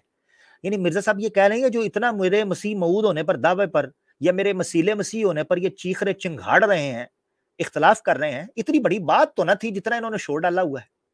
जिस पर इतना शोर मचाया गया है। तो मैंने सिर्फ़ मसीले, मसीह होने का दावा किया है और मेरा ये भी दावा नहीं कि सिर्फ़ मसील होना मेरे पर ही खत्म हो गया है, बल्कि मेरे नज़दीक मुमकिन है कि आइंदा जमानों में मेरे जैसे और दस हज़ार भी मसीले, मसीह आ जाएँ। हाँ इस जमाने के लिए मैं मसीले, मसीह हूँ और दूसरे की इंतज़ार बेसूद है। व अब दोस्तों, पूरी ईमानदारी के साथ आपको बताऊँ, हल्फन। हल्फन आपको बता, कसमन आपको बता रहा हूँ अहमदी दोस्तों। अगर आप मुझे, मैं, भाई, मैं अपनी लेट ट्वेंटीज के अंदर हूँ इस वक्त, ठीक है? लेट ट्वेंटीज में।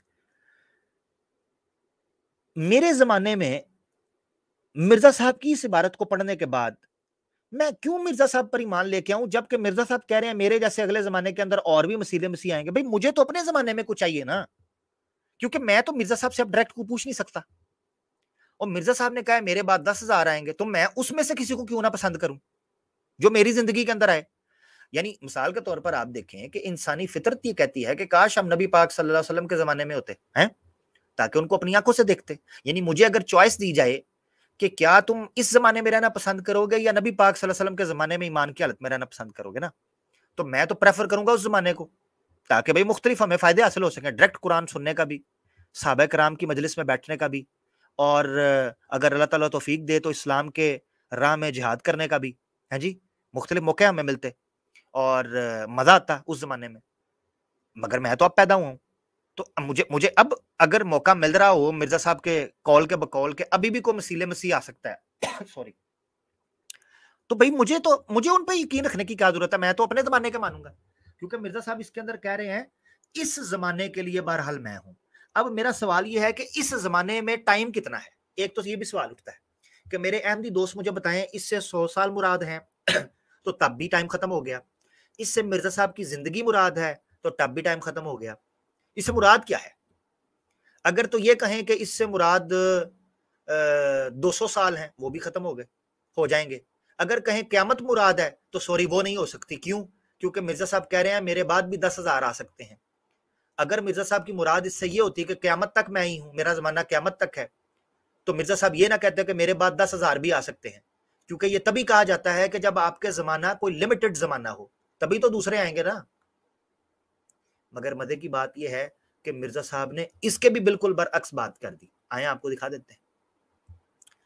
ये खुतबा इल्हामिया, वही इंपॉर्टेंट किताब। मिर्ज़ा साहब रूहानी खजान, जिल्द 16 सफ़ा 243 पर कहते हैं फलईस ली मसीहन मिन दूनी मौदउ कदमिन बाद जमानी।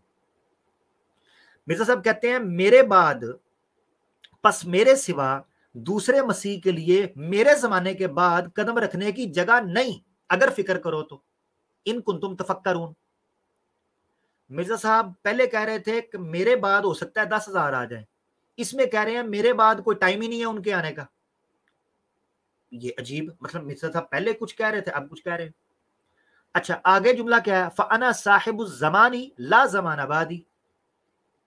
कहते हैं बस मैं साहिब जमान मऊद हूँ और मेरे बाद कोई जमाना नहीं है। अच्छा फबी अई जमान तुनजिलून मसीहकुमुल मफरूदा, अय्यहु अय्यहल कादिबून। वो कहते हैं, जब मेरे बाद कोई जमाना ही नहीं है तो बताओ जिस मसीह का तुम इंतज़ार कर रहे हो, ईसा बिन मरियम का, वो कब आएगा? उसका तो टाइम ही नहीं है। जब मेरे बाद टाइम ही नहीं है तो कोई आएगा ही नहीं। अच्छा इसका हमारे अहमदी दोस्तों के जहन में, मेरे जहन में भी एक बात आई थी। मैंने कहा, यार, बात तो मिर्ज़ा साहब की ठीक है। यानी मिर्ज़ा साहब ये कह रहे हैं कि मेरे बाद दस हज़ार आ सकते हैं। मगर अगर ये कहा जाए कि टाइम ही नहीं है तो आने की ज़रूरत ही नहीं है। बात तो बड़ी माकूल है। मगर जान नहीं छूटनी, दोस्तों, जान नहीं छूटनी, बड़े अफसोस के साथ। क्यों? ये देखिए हवाला दिखाता हूँ आपको।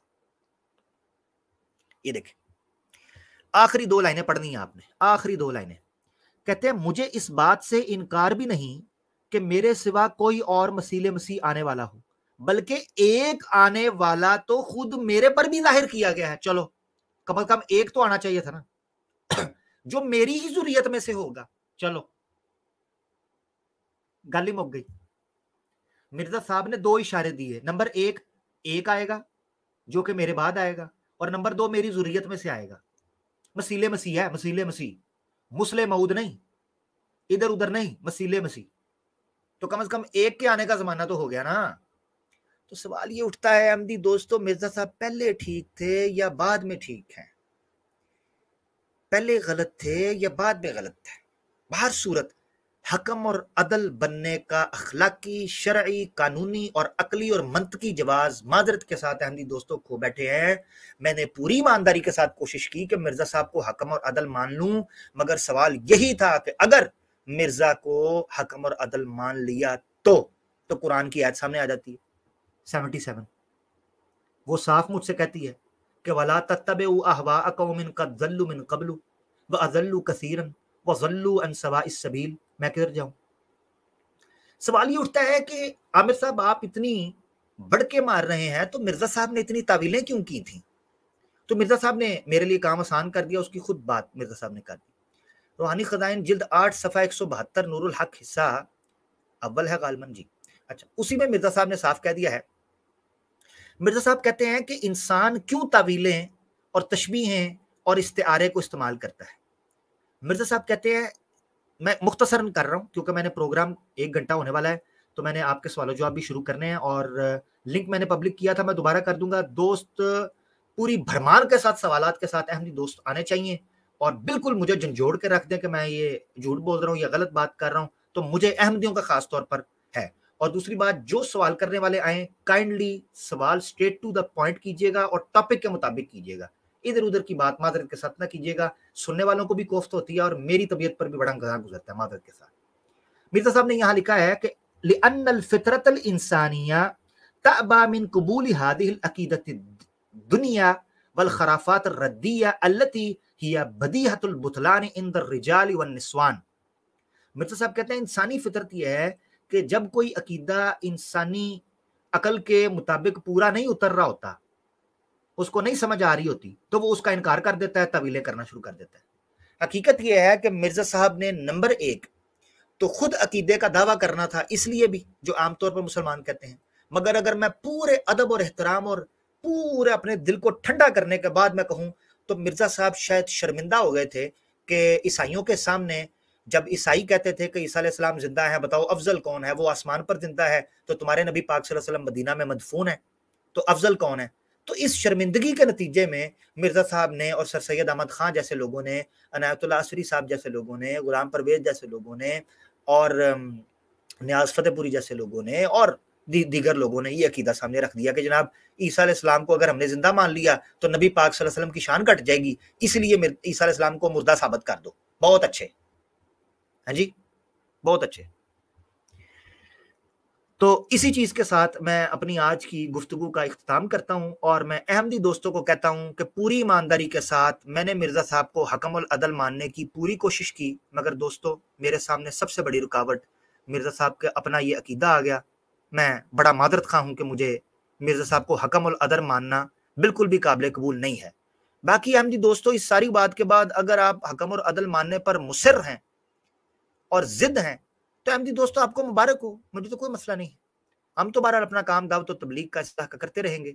जितनी हमें अल्लाह ताला ने ताकत दी, मोहलत दी, तोफीक दी, वक्त दिया, अपनी मदद और अपने फजल और अपने करम के साथ हम अल्लाह के फजल से इस चीज़ को करते रहेंगे। हमारे साथ और भी दोस्त शामिल हो चुके हैं। सिकंदर मिर्ज़ा साहब, माइक अनम्यूट कर ली पहले आप आए हैं सबसे पहले और आपके सबर का, आपके इंतज़ार का बहुत शुक्रिया। आपको अपनी बात करना चाहते हैं वो कर सकते हैं। सागर साहब, माइक म्यूट करें। जी जी जी। अस्सलाम वालेकुम वरहमतुल्लाहि वबरकातुहू।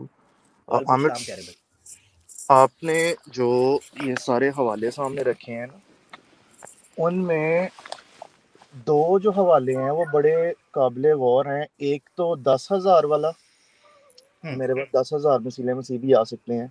और दूसरा जिसमें मेरा साहब कहते हैं कि मेरे बाद भी एक आएगा जिस जिसके मतलब मुझ पर खोला गया है कि वो मेरी जुरियत में से होगा।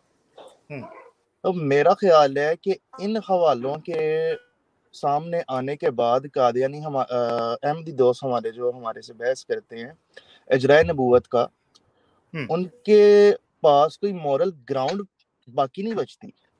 फिर दूसरी अहम चीज़ आम तो तौर पे हमारे अहमदी दोस्त जब हमारे से बात करते हैं तो वो दो चीज़ें जो है ना उनको बहुत ज़्यादा एम्फोसाइज करते हैं। उनकी बात का सारे का सारा दारोमदार उन दो चीज़ों पे ही होता है। एक तो है हज़रत ईसा सलाम की वफात और हयात और दूसरा है अजरा नबूत तो आपने एक और हवाला पेश किया था जिसमें मिर्ज़ा साहब कह रहे हैं कि जो हज़रत ईसा सलाम की हयात का अकीदा है। ये तो बड़ा आ, जाल फिरकों वाला कीदा कोई इस तरह के अल्फाज थे। Please correct me if I am wrong अब कादियानी दोस्त हमारे सामने जब बात करते हैं तो वो ये कहते हैं कि मुसलमानों में ये जो हयात ईसा इस्लाम का अकीदा आया है ये तो आया है ईसाइयों से और यहूदियों से। हम्म।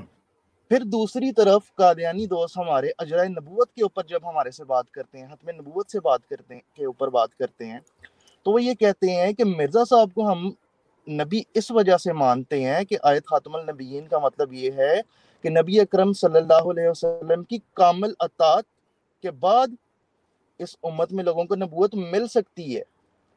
तो मिर्ज़ा साहब अपने दावा नबूत से पहले जो सत्रह अठारह उन्नीस साल का अरसा है उसमें तो वो उस अकीदे के ऊपर कायम रहे हैं जिस अकीदे के मुतालिक आप भी कहते हैं और मिर्ज़ा साहब भी कहते हैं कि जाल लोगों का अकीदा है मुशरकाना अकीदा है। ईसाइयों का अकीदा है ठीक है? यहूदियों से मुस्तार लिया गया अकीदा है। तो मिर्ज़ा साहब 18 साल 19 साल 20 साल जब उस अकीदे के ऊपर कायम रहे हैं तो फिर वो कामिल अतात वाली बात किधर गई? वो जो हम्म। मिर्ज़ा साहब की ज़िंदगी का फ़ेज़ था जिसके मुतालिक आप ये क्लेम करते हैं कि मिर्ज़ा साहब की नबूवत की हमारे पास एक दलील ये भी है कि मिर्ज़ा साहब नबी अकरम सल्लल्लाहु अलैहि वसल्लम की कामिल अतात के बाद इस मुकाम पर पहुँचे हैं। वो फ़ेज़। किधर गया? क्योंकि मिर्ज़ा साहब तो बकौल मिर्ज़ा साहब के अपने कायम करदा स्टैंडर्ड के मुताबिक एक ऐसे अकीदे के ऊपर कायम रहे हैं जिसका इस्लाम से दूर दूर का ताल्लुक ही नहीं है आपके मुताबिक मिर्ज़ा साहब के मुताबिक। जी। तो यही बहुत शुक्रिया। जी। ज़बरदस्त ज़बरदस्त नुकता आपने उठाया है और दूसरे नुकते के हवाले से मुख्तसर क्योंकि कॉलर्स हमारे पास बड़ी तेज़ी से बढ़ रहे हैं तो मैं चाहता हूँ कि कहीं किसी का नेट ये वो इशू ना हो। तो सिकंदर भाई ये तो हमें ताना देते हैं कि जी आपका ईसाइयों और यहूदियों वाला अकीदा है कि ईसा इस्लाम जो है वो अपना ईसाइयों वाला अकीदा है कि वो ज़िंदा है। तो जिनका फौत का कीदा है वो तो यहूदियों वाला कीदा हुआ ना क्योंकि यहूदियों के नज़दीक फौत हो गए हैं। तो एक कीदा इनका यहूदियों वाला है एक हमारा ईसाइयों वाला है इनके बकौल। भाई मसला ये होता है कि यहूदियों का कीदा क्या है या ईसाइयों का कीदा क्या है? मसला ये है कि अकीदा दलील की बुनियाद के ऊपर होता है। ना ये कि ईसाइयों का कीदा मिसाल के तौर पर यहूदी तो ईद के कायल है हाँ जी? और बुक ऑफ़ डिट्रोनमी में आप टेन कमांडमेंट्स देखें। इतनी शदीद है मैंने एक वीडियो के अंदर आवाज़ हक के ऊपर मैंने लगाया था जिसमें दीन में जबर नहीं है। उसमें वो वीडियो आप देखें जो मैंने एक मुलहद के जवाब में दिया दीन में जबर नहीं फोर्स कन्वर्शन के हवाले से। उसमें बाइबल बुक ऑफ़ डिट्रोनमी का हवाला दिया जिसमें साफ़ तौर पर लिखा है कि जो अल्लाह के अलावा किसी की इबादत करता है खुदा के उसको कत्ल कर दो। तो तोहीद के इतने सख्त कायल हैं। हम भी तोहीद के कायल हैं तो क्या हम यहूदियों वाला अकीदा रखते हैं? कमाल होगी अकीदे के मुश्तरक होने का मसला नहीं है अकीदों को बिला दलील मुश्तरक होने का अकीदा है। अकीदों के बिला दलील मुश्तरक होने का अकीदा है। ये है तकलीद। बहुत शुक्रिया सिकंदर भाई। और कुछ कहना चाहते हैं तो मुख्तसर कहिए फिर कॉलेज को लेते हैं। नहीं आमिर भाई फ़िलहाल मेरे जहन में सिर्फ़ यही बात थी बाकी और तो बहुत सारी बातें हैं लेकिन वो फिर वक्त तलब है तो मैं नो प्रॉब्लम इंशाल्लाह फिर होती रहेंगी। इंशाल्लाह फिर होती रहेंगी। फिर होती रहेगी। जजाकल्ला सिकंदर भाई आप यूट्यूब पर जाना चाहें तो जा सकते हैं। नवीद अफजल भाई सॉरी नवीद अफजल भाई सागर भाई पहले आए हैं। जी सागर भाई पहले आए हुए उनको ले लेते हैं। जी सागर भाई टॉपिक के ऊपर मुख्तसरन टू दी पॉइंट बात कीजिएगा। जी माइक अनम्यूट अस्सलाम वालेकुम अमर भाई। जी जी। आमिर भाई बहुत अच्छा आपने दिया है अहमदियों को लेके। अहमदियों के बारे में मुझे आई थिंक दो इयर्स पहले ही पता चला था। डोंट मुझे इससे बारे तो इसके बारे में पता ही नहीं था बिल्कुल भी इस टॉपिक के बारे में। आज इतनी सारी इन्फॉर्मेशन मिली इसके लिए शुक्रिया। क्वेश्चन तो फ़िलहाल कोई है नहीं क्योंकि कभी अहमदी से लाइफ में कभी बात नहीं हुई कोई आर्ग्यूमेंट हुआ नहीं। थोड़ा सा मैंने स्टडी की थी कुछ दिन पहले कि ये कहाँ इंडिया में कहाँ रहते हैं। तो थोड़ा पता चला कि हमारे साइड के कश्मीर है वहाँ पे मिलते हैं। और पंजाब से शायद ये राइज हुए थे इफ़ आई करेक्ट या फिर कहाँ से हुए थे अगर थोड़ा सा बता दें इनकी हिस्ट्री में से। क्या क्या चीज़ क्या चीज़ कही आपने? कहाँ से अहमदी राइज हुए थे? इंडिया में ही हुए थे बट इंडिया के कौन से पार्ट से? इंडिया में पंजाब की एक तहसील है हम्म। जिसे जिल एक पंजाब के अंदर जिला है गुरदासपुर। उसकी तहसील है बटाला बटाला अच्छा। तहसील है डिस्ट्रिक्ट बटाला। इंडिया साइड उस इंडिया साइड है। अभी भी इंडिया साइड है ये करतारपुर करतारपुर के साइड के ऊपर है। उसे से जो बॉर्डर निकलता है उसके पास है ये। तो वहाँ से है कादियान इंडिया का। एक कस्बा था उस वक्त तो टाउन था अब तो बड़ा शहर बन गया तो हम्म। सारी सहूलत उसमें। तो वहाँ से ये लोग फिर हिजरत करके बाद में इधर चिन्योट के करीब पाकिस्तान के अंदर हमारा जो पंजाब है इसमें चिन्योट साउदर्न साइड के ऊपर साउदर्न पंजाब वाली साइड के ऊपर एक एरिया है चिन्योट उसके करीब एक पूरा बस्ती इन्होंने बसाई जिसको इन्होंने रबवे का नाम दिया बहरहाल ऑफिशियली उसको चनाब नगर कहते हैं। ठीक हो गया?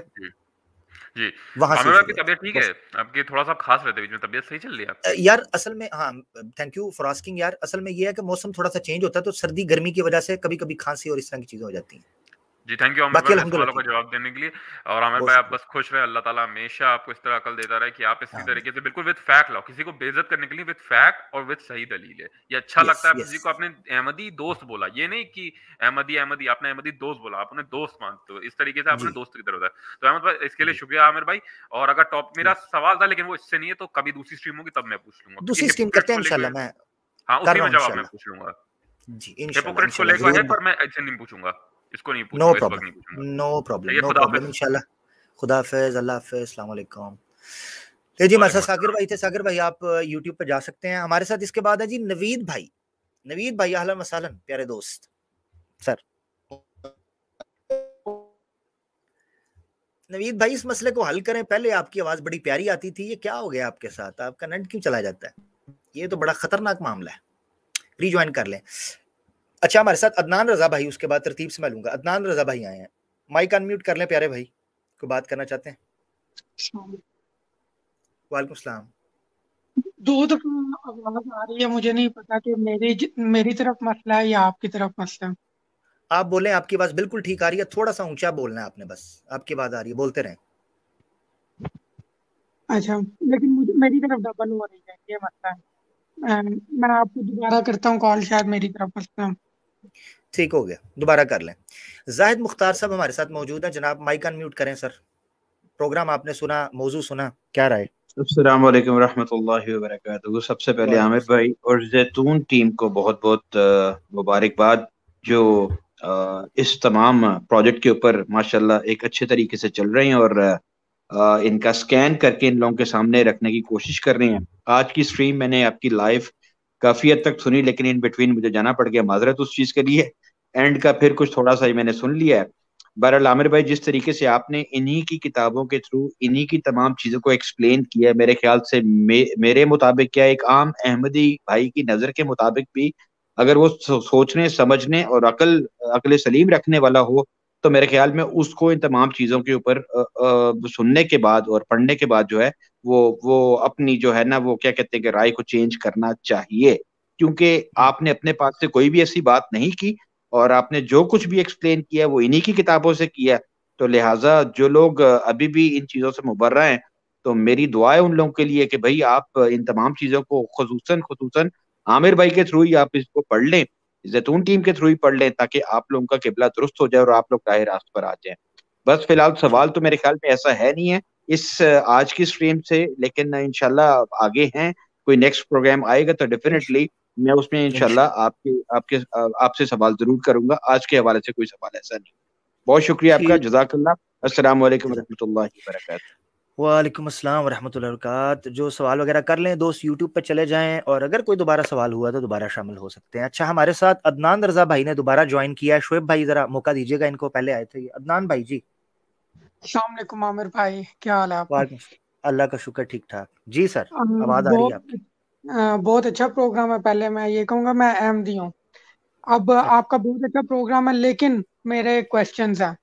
वो ये हैं वो ये है कि आपने जिस तरह दिखाया है कि छोटी मोटी आ, आगे पीछे हजूर ने इधर उधर उसमें इख्तलाफ है बातों में। लेकिन क्वेश्चन तो ये है कि अगर इंसानियत की तारीख देखी जाए तो जो आप बात कर रहे हैं ये तो यानी कि जो आम तौर पे आम मुसलमान मानते हैं कि या फिर जो अशिया हजरात में भी है कि पंचतन पाक कोई गलती नहीं कर सकते कुछ भी नहीं हो सकता। लेकिन ये तो कुरान पाक से बात साबित नहीं है यानी कि हमारे नज़दीक अहमदियों के नज़दीक पहले पहले नबी और आपके नज़दीक पहले इंसान जो हज़रत आदम है उधर से शुरू हो जाए। फिर उसके बाद हज़रत आदम है फिर उसके बाद हज़रत इब्राहिम का वो वाक्य है कि वो कहना क्या चाह रहे हैं? एक मिनट एक मिनट कहना क्या चाह रहे हैं आप? मैं उसको प्लीज़ करें प्लीज़ करें जी। जी दो तीन मुझे बात कर लेने दें हज़रत दाऊद का है और हज़रत आन सल्लल्लाहु के भी वाकयात हैं। हज़रत मूसा के हाथ से इंसान एक कोई बंदा कत्ल हो गया था। तो अगर कत्ल यानी कि नबी के हाथ से कत्ल हो गया था इस्लाम के अंदर कत्ल की सजा आपको पता ही है क्या है। तो अगर कहीं पे एक दो जगह पे हो जाती है तो ये इंसानी गलती भी तो हो सकती है और अगर आप इन नबी को इंसान नहीं मानना चाहते तो फिर वो जो कुरान में सॉरी वो अशद मोहम्मद अब्दुहु वो अब्द का लफज के इंसान और रसूल है। तो वो इंसान का लफज ही निकाल दें फिर उसके अंदर से जब शहादत पढ़ते हैं तो ये मेरा कहने का मकसद ये है कि अगर आप हर चीज़ फैक्ट्स के ऊपर बात करें कोई चीज़ फैक्ट्स नहीं होती। हाँ उसकी है, जिन, जो चीज़ें हैं मेरे दिमाग के लिहाज से जो मैं समझाऊं या तो फिर आप बिल्कुल ही एथियस्ट हो जाएँ कुछ भी ना माने कि कोई भी बंदा से इधर बात नहीं करता। भाई जी सही है यूरोप में वैसे ही एथियज्म फैला हुआ है चाइना में भी मुसलमान भी एटी परसेंट तो हम्म। जरा मुख्तसर जरा मुख्तसर कर ले मैं आपका सवाल समझ गया हूँ। हम्म, जो भी आपने होना है सुन लें आप जो भी आपने हम्म। होना है वो तो मर्ज़ी अच्छा सुने। पहले ये है कि आपने कहा फिर इंसान एथियस्ट हो जाए। अरबी का एक मकूला है कि फर्रा मिनल मतरी व काम तहतल मीजाब। आसमान से गिरा खजूर में अटका। किसी चीज़ के गलत होने से ये नहीं है कि अपना मुँह चपेड़े मारकर लाल कर लेना है। नंबर एक ठीक है? चीज़ों की हकीकत की तरफ़ करना है। नंबर एक। नंबर दो ये है आपने जितनी मिसालें दी हैं मैं सारी समझ गया हूँ। आप जब इन इश्यूज़ के ऊपर बात करने लगे हैं तो लाजमी सोचा समझा करें कि किसी मुसलमान की राय खालिस तहकीकी बुनियाद के ऊपर हो सकती है ना कि फिरकों की बुनियाद के ऊपर। अब मैं आप, ये उसूल देकर ना आपको सिर्फ़ टच देकर अब मैं आपको चलता हूँ आपके सारे। जितने वाकयात आपने बयान किए हैं ना, जितने वाकयात, इनमें से किसी एक ने अपनी नबूवत के बारे में शक या इजतराब नहीं ज़ाहिर किया। जबकि मिर्ज़ा गुलाम अहमद कादियानी साहब अपने दावे के बारे में मशकूक हैं। ये है मेरा मुद्दा। आप तो टॉपिक ही नहीं समझे मेरे भाई। ये कहाँ लिखा है कि नबी जो है उससे खता नहीं हो सकती? मैंने तो कभी भी नहीं कहा। अल्लाह के अल्लाह ताला की जात किसी नबी को उस असूली अकीदे की खता पर कायम नहीं रहने देता। जिस तरह कुरान में अल्लाह ताला कहते हैं कि माँ वल्ला साहिबुकुम बमा गवा सूर्य नजम के अंदर कहते मिर्ज़ा साहब अपने अकीदे के बारे में ही क्लियर नहीं थे कंफ्यूज थे। ना ईसा सलाम के हयात वफात के बारे में, और वही चूँकि लिंक था उनके अपने अकीदे के बारे में, अपने क्लेम के बारे में। मिसाल के तौर पर आपने तो मूसा सलाम के कत्ल के हवाले से बात की या दूसरे, तीसरे, आपको कत्ल अमद के बारे में पता होना चाहिए। शरीयत में कत्ल की सजा क्या है? मसला ये नहीं। कत्ल अमद और कत्ल साहब के ऊपर भी मसला मौजूद है कि वो कत्ल खता जिसे कहते हैं, कत्ल साहब ये कत्ल खता कहते हैं और कत्ल अमद। उन सारी चीज़ों के जवाब दिए जा सकते हैं, मगर मुझे पता है कि मैं उसूली नुकते को पकड़ रहा हूँ। इसी तरीके से इब्राहिम के बारे में जो बात की जाती है, इब्राहिम सलाम ने इल्जामी और मनाजराना सलूक के अंदर गुफ्तु की थी। उसमें आपको इतराज ही नहीं कर सकते। चाहे आप उनकी बहन का और बीवी का इशू उठाएँ, या चाहे आप बुत वाला मामला उठाएँ, या चाहे आप जाहिरी दलाइल को सामने रखकर मिसाल उठाएँ।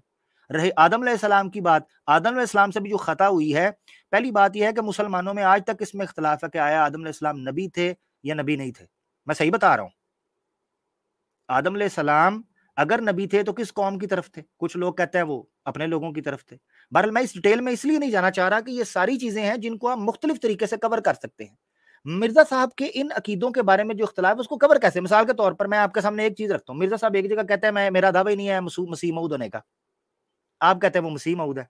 वो कहते हैं कम अम, कम फहम और कम अकल लोग मुझे धक्के से मसीह मऊद बनाते हैं। मैंने तो मसीह मसीह का दावा किया मसीह मऊद का किया ही नहीं है। कैटेगोरिकल डिनाई किया है। ये है उसूली मसला। नबी मासूम है नहीं मासूम। ये नबी को मानने के बाद मसला आता है।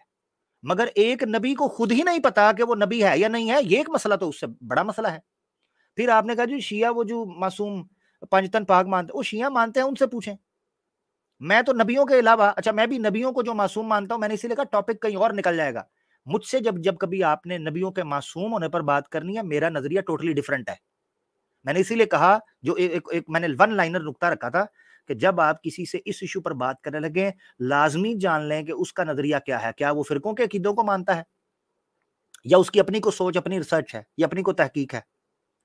तो जनाब इस तरफ़ भी तवज्जो करें। मैं बड़ा माजरत खा हूँ।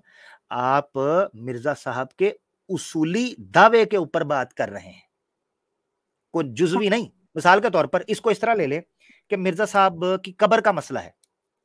सॉरी ईसा सलाम की कबर के हवाले से। ईसा सलाम की कबर के हवाले से मिर्ज़ा साहब पहले गलील कहते थे, फिर बिलाद शाम में आ गए, फिर करते करते कश्मीर में आ गए। मुझे कोई मसला नहीं। मैं इससे मिर्ज़ा साहब की नबूत के ऊपर शक नहीं कर सकता।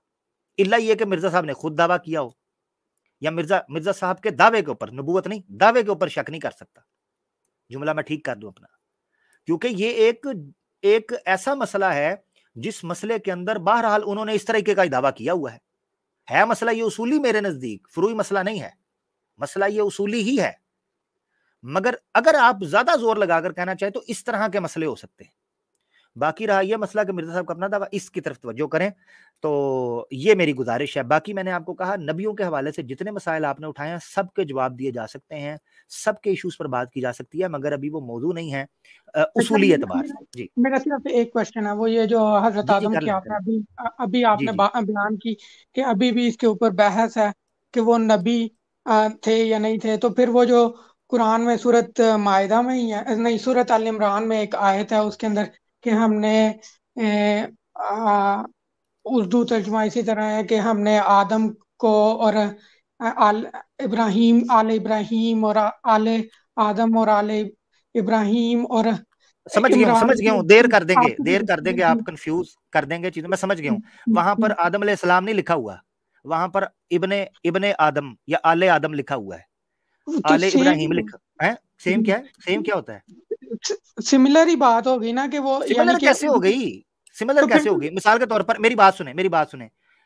ये यानी ये कोई कहे कि मैं तुम्हारी औलाद में से किसी को जर्नल बनाऊँगा इसका मतलब है मैं भी जर्नल बन गया हूँ। आपकी बात सही है लेकिन अगर इब्राहिम की हज़रत इब्राहिम की ही सारी औलाद है इस तरह तो, तो हज़रत भी इब्राहिम के हज़रत इब्राहिम की औलाद में आते हैं ओ या भाई ओ यार क्या कर, मेरी बात मेरी बात आपको पता है यार मेरी बात कंफ्यूज ना करो। इधर मेरी बात सुन लो मेरी बात सुन लो मेरे सुने मेरी बात सुन। आले इब्राहिम जहाँ कहा गया है ना तो जिन जिन जगहों पर उनको नबूवत दी गई है उनका ज़िक्र भी किया गया है। वहाँ नबी मानते हैं। इब्राहिम सलाम को नबी कहा गया। आदम सलाम को कहीं नबी या रसूल कहा गया तो मुझे दिखा दो मैं मान लूँगा। मैंने इसलिए कहा यह मौजू नहीं है। मैं इसलिए कहा मुझसे जब बात करनी है इन टॉपिक्स के ऊपर तो मेरा मौकफ और है कुछ। आदम सलाम को आपने नबी या रसूल साबित करना है तो दिखा दो कहाँ कहा गया है। वो तो हम अदबन एहतराम आदम सलाम वो तो मरियम सलाम को भी सलाम कहते हैं कि वो नबी नबी बन गई। आदम सलाम को जब नबी बनाया गया या कोई ऐसी चीज़ कही गई तो उसकी दलील दें। ये मैं चीज़ अच्छा। कहूँगा ठीक? देखिए मैं आलिम नहीं हूँ लेकिन फिर आप इस पर नहीं मुझे इस पर समझ एक मिनट अब नहीं इधर मैंने नहीं आप आलिम नहीं है ना आप आए हैं सवाल के आपने। मुझे ये बताएँ कि मिर्ज़ा साहब ने जो एक जगह पर मसीले क्योंकि देखे ना आपने उधर उधर उधर उधर तो किया अब मेरे प्यारे दोस्त अहमदी मेरे बड़ी जान के टुकड़े। इसका भी तो बताएँ कि मिर्ज़ा साहब एक जगह कहते हैं मसीले मसीह हूँ मसीह मऊद नहीं हूँ। एक जगह कहते हैं मसीह मऊद। इसका भी तो जवाब देना ये क्या अच्छा, है इसका इसका मैं आपको जो अपने फहम से जवाब ये देता हूँ कि मैं अभी जो क्रिश्चियंस का सुन रहा था एतराजात आन वसल्लम पे कल की बात है उन्होंने ये एतराज़ किया था जब उनके ऊपर मैं तहकीकी पूछ रहा हूँ मेरी बात सुने एक मिनट मैं आपको रोकूँगा यहाँ पर। ये नहीं ये बड़ी अजीब बात है। इल्जामी जवाब नहीं क्रिश्चियन ने एतराज़ किया था रसूल पर। मुझे ये जवाब दे ये। अच्छा नहीं अच्छा साहब ने ये ये क्या? है इल्जामी नहीं। आ- आ- उन्होंने जो हवालाजात पेश किए थे उन्होंने जो हवालाजात पेश किए थे वो थे किन्होंने क्रिश्चियंस ने वो क्रिश्चियंस की बात ही नहीं हो रही। क्रिश्चियंस की जान मेरी बात ही नहीं हो रही। आ, मेरे प्यारे भाई मैं मुझे एक मिनट एक मिनट मैं आपको समझाता हूँ मैं आपको समझाता हूँ कैसे मैं आपको समझाता हूँ कैसे लेके आना है जरा सुने मैं आपको बताता हूँ कैसे लेके आना है। ये सुने ना सुने सुने मैं आपको बताता हूँ ये देखें ये एक मिनट ठहरो ये मैं आपको अभी अभी बताता हूँ। ये इबारत पढ़े हम्म, ऊपर दूसरी लाइन। मैं आपको इस तरीके से ले क्योंकि मुझे पता चल गया है। मुझे लग रहा था कि आप तरीके से बात समझेंगे मगर नहीं वो मुझे सामने लानी पड़ रही है। ये पहली ये लाइन पढ़े क्या लिखा है? अच्छा इस आजिज का आजिज ने जो मसीले माउद होने का दावा किया है जिसे कम फहम लोग मसीह माउद ख्याल कर बैठे हैं। हाँ सही है। मुझे। हाँ। सही है। अब अब मेरा क्वेश्चन ये है आन अलैहि वसल्लम क्वेश्चन नहीं करना जवाब देना है। बिल्कुल। यार। नहीं नहीं ये यार आंसर ही है आंसर है उसी में ही आंसर है। आन सल्लल्लाहु अलैहि वसल्लम के पास जब नबी आए थे ओ सॉरी हज़रत जिब्राइल आए थे तो उन्हों, उन्हें भी समझ नहीं आई कि उन्होंने कहा कि मैं अनपढ़ हूँ कि मैं उम्मी अच्छा हूँ। उन्होंने ये कहा था मैं नबी नहीं हूँ। ये कह दिया था आगे से। तो या आवाम को आके कहा था लोगों मैं नबी नहीं हूँ को जुमला दिखाएँ हदीस दिखाएँ ऐसी को कुरान की आयत दिखाएँ कि नबी पाक साहब ने कहा "ओ, नहीं नहीं नहीं नहीं नहीं तुम्हें क्यों क्या समझ रहे हो? गलत फहमी हो गई मैंने कब कहा मैं नबी हूँ? कहा है कोई? कोई आयत दिखाएँ? देखिए हर बंदा मुख्तलिफ़ होता है उसके अच्छा मुख्तलिफ़ सर्कमस्टांसेस मुख्तलिफ़ मुश्किल है ना? मुख्तलिफ़ है मुख्तलिफ़ हाँ है। तो कोई एक मुख्तलिफ़ इबारत दिखा दें जहाँ नबी पाक ने हम्म, शक किया हो कि मैं नबी नहीं हूँ। वो जो जब उनको नहीं आई थी वो दस सालों तक या कुछ सालों तक वही नहीं थी आई। अच्छा तो उन्होंने क्या कहा था? है तो उन्होंने कहा था शायद शायद अल्लाह ताला मुझसे नाराज़ हो गया ये इस तरह करके कोई अच्छा नाराज़ ना? नारा नहीं नहीं नहीं हदीस दिख पहले चलो मैं इस पर तो बहस तब करूँगा पहले मुझे हदीस दिखाएँ आपको तरतीब से लेके चलता हूँ कहाँ है हदीस ये? किस जगह पे है? मैं ज़ाहिर सी बात है जो अब उलमा से सुनते हैं हर चीज़ वो उसको पढ़ना पड़ेगा तो प्रूफ भी हो नहीं ऐसे नहीं नहीं ऐसे आपने ऐसे करे ऐसे कर लिया ध्यान भाई नेक्स्ट स्ट्रीम जब कभी प्रोग्राम होगा आपने ज़रूर आना है आपने वो हदीस ढूंढनी है ठीक है? अच्छा। सही है। यानी नहीं है। या, यानी कि हज़रत सल्लल्लाहु अलैहि वसल्लम का वो वाकया जो उलमा बयान करते हैं कि जो वो छोड़ देना उलमा को छोड़े उलमा उलमा को छोड़े। मैं आपसे बात कर रहा हूँ अदनान भाई आपने वो हदीस जब तक आप ढूंढनी नहीं है ना तब तक आपने इसको इस्तदलाल के तौर पर पेश नहीं करना। सही हो गया। ठीक है? आपने इसका अब जवाब दें उसको आपको छोड़ें अब इसका जवाब दें। वो तो वाक्य सारे इधर उधर हो गए मुझे इसका जवाब दें अब ये क्या है? ये ये जो मिर्ज़ा साहब कह रहे हैं मुझे कम फहम लोग मसीह मऊद समझते हैं। मैंने तो मसीह मऊद का दावा किया था। अब इसका क्या करना है? आमिर भाई बहुत प्यारे मीठे मीठे भाई हो सकता है इंसान है इंसान से गलती हो सकती है। यानी वही तो आप एक मिनट एक मिनट एक मिनट ठीक हो गया ज़बरदस्त वेरी सेट वेरी गुड आपने ये आप ये कह रहे हैं कि मिर्ज़ा साहब से यहाँ गलती हुई है ये कह रहे हैं। या समझने में या समझाने में कोई चीज़ में गलती हो हाँ हो सकती है बिल्कुल। अच्छा हो, हो सकती है वेरी गुड यानी मिर्ज़ा साहब यहाँ ये कह रहे हैं यानी आप ये कहना चाह रहे हैं कि मिर्ज़ा साहब जिस गलत फहमी को दूर करने के लिए ये इबारत लिख रहे हैं, उसी में ही गलत फहमी हो गई है। क्योंकि देखें मिर्ज़ा साहब ये कह रहे हैं, इस साजिश ने जो मसीले मऊद होने का दावा किया है, उसको कम फहम लोगों ने मसीह मऊद ख्याल कर लिया। यानी ये गलती को ठीक करने के लिए लिखा और वो भी गलत हो गया। है जी? देखें हो जाता है इस तरह। आन रसल्लम का भी वो वाक्य है कि उन्होंने सही हाँ, करने के को छोड़ वसल्लम को आप बात बीच में ले आते मैं आपसे रेफरेंस मांगूँगा आपका रेफरेंस नहीं होना। बिल्कुल ये मैं रेफरेंस इसका मैं रेफरेंस अच्छा, दूँगा क्योंकि ये जमात भी जमात वो आन वसल्लम ने यही किया था ना कि जो लोगों को सही रास्ता दिखाने के लिए एक बात बताई थी। लोग एक कर रहे थे यानी कि वो फर्टिलाइजेशन जो होती है फूलों की कि उसको फर्टिलाइज हाथ से करते हैं। तो उन्होंने कहा कि इस अच्छा, तरह ना हवाला किधर है? हवाला किधर है? तो आ, अच्छा ये मैं ये बात ये इस तरह नहीं है कि आप ये कहना चाह रहे हैं। कमाल हो गया यार कमाल हो गया।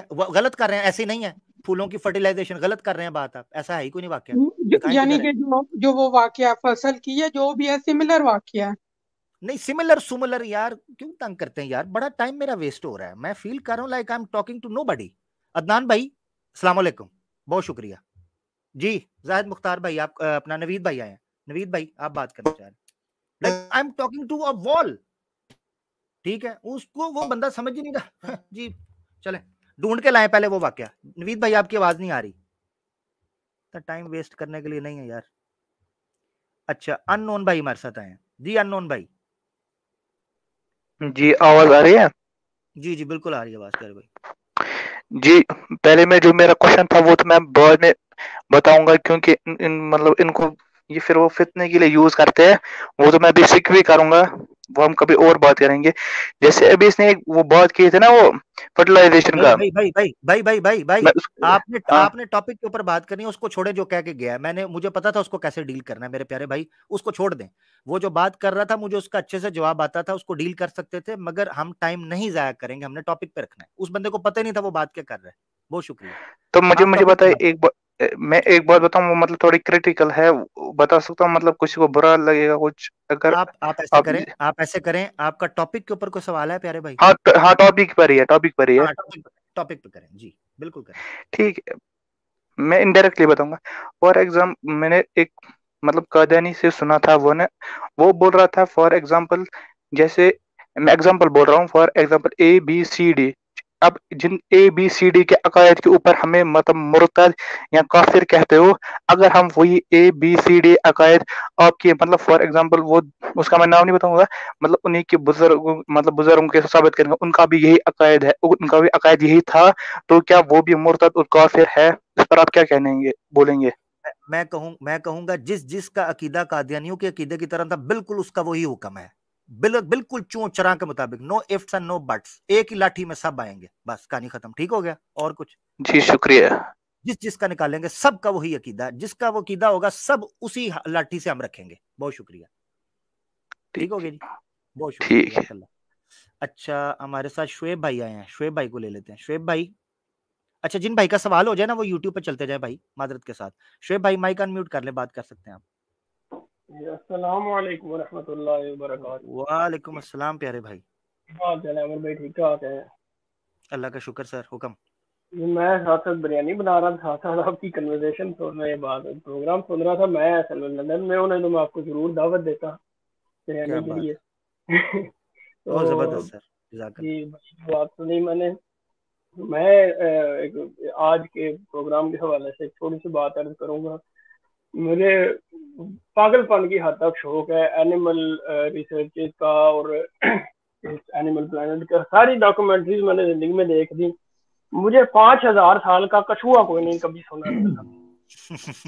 मिर्ज़ा साहब का एक इंसान यही सच्चा कर दें, आजकल तो और कोई बड़ी बात नहीं है। कोई रिसर्च करके जमात कोई इसके लिए एक फंड मुख्त कर दे हमने पाँच हज़ार साल का एक कछुआ ढूंढना है। और मिर्ज़ा साहब के इस निशान को पूरा करना चले टॉपिक टॉपिक के हवाले पर कोई है? सर बिरयानी भी आपकी खाएँगे। टॉपिक के हवाले से कोई बात है तो ज़रूर कीजिए। जी नहीं जजाकल्ला बस ये हकम अदल बनाने के लिए मैंने एक छोटा सा टिप दे ठीक हो ठीक हो बहुत शुक्रिया शोएब भाई जजाकल्ला। हमारे बड़े प्यारे दोस्त हैं जी हमारे साथ हमेशा आते रहते रहते हैं। हमें इरफान चौधरी साहब ने ज्वाइन किया उनको भी ले लेते हैं। जी इरफान चौधरी साहब। माइक अनम्यूट कर लें प्यारे भाई।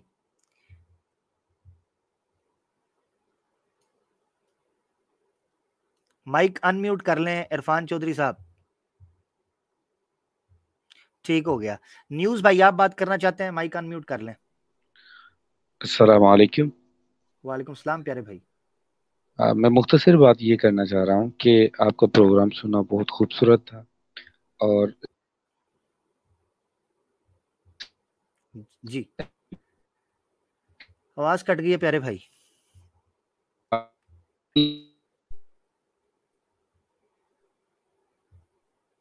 आपकी आवाज़ कट गई है प्यारे भाई।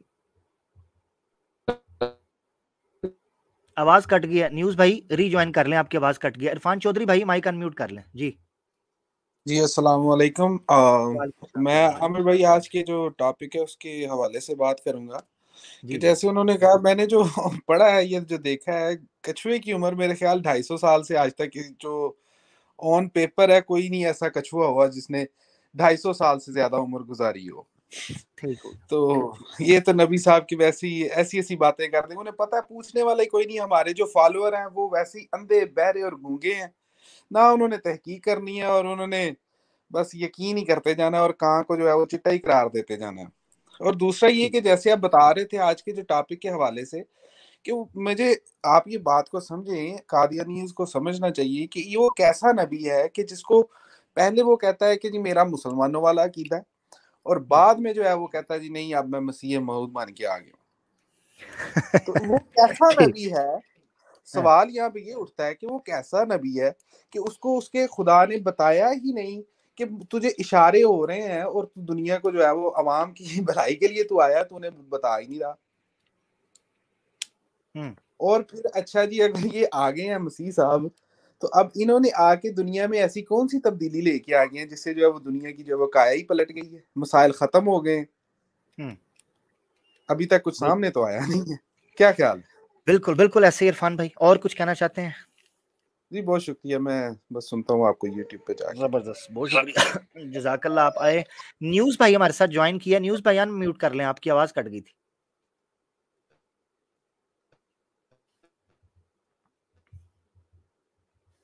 जी, न्यूज़ भाई, आपकी आवाज़ नहीं आ रही। नहीं सर, आवाज़ आपकी नहीं आ रही। आप दोबारा ज्वाइन करके एक बार ट्राई कर लें। जायद मुख्तार भाई, आप कुछ कहना चाहते हैं? नहीं तो फिर हम अपने अहमदी दोस्त को लेंगे दोबारा एक बार।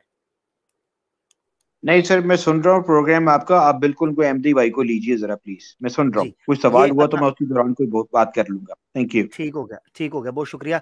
अदनान साहब को हमने दोबारा लिया उम्मीद है कि कुछ सही बात और समझ की बात ये हमारे साथ करेंगे और हमें सिखाएँगे। जी अदनान भाई आपने वो हदीस निकाली है? मैंने आपको मौका दिया इसीलिए थोड़ी देर। हदीस निकाली है आपने वो? माइक कैमरा ना ओपन करें भाई। हाँ कैमरा ना ओपन करें। मेरे सिरे ना चढ़ जाना। अच्छा न्यूज़ भाई। जी वेलकम। बैक सर आवाज़ आ रही अस्सलाम जी आ रही आवाज़। मैं बस मुख्तसर कादियानी दोस्तों से बस इतनी बात करना आपको नहीं सर न्यूट्रल आवाज़ आपका आवाज़ डिस्टॉर्टेड है। जरा माइक पास करें आवाज़ डिस्टॉर्टेड है। जी जी आवाज़ आ रही है सर आप जी जी आ रही है। बोले।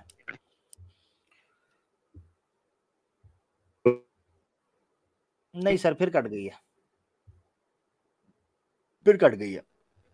अच्छा इसी के साथ यार दोस्तों मैं ये भी बताता चलूँ कि आवाज़ जिन भाइयों की आ सकती है रियली हाँ अब आ रही बोले जी।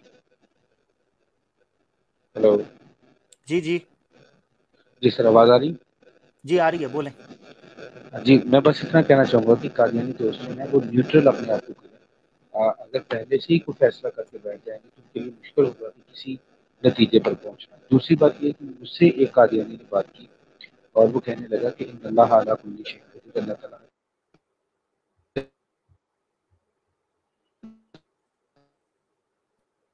आवाज़ कट गई है, दोस्त।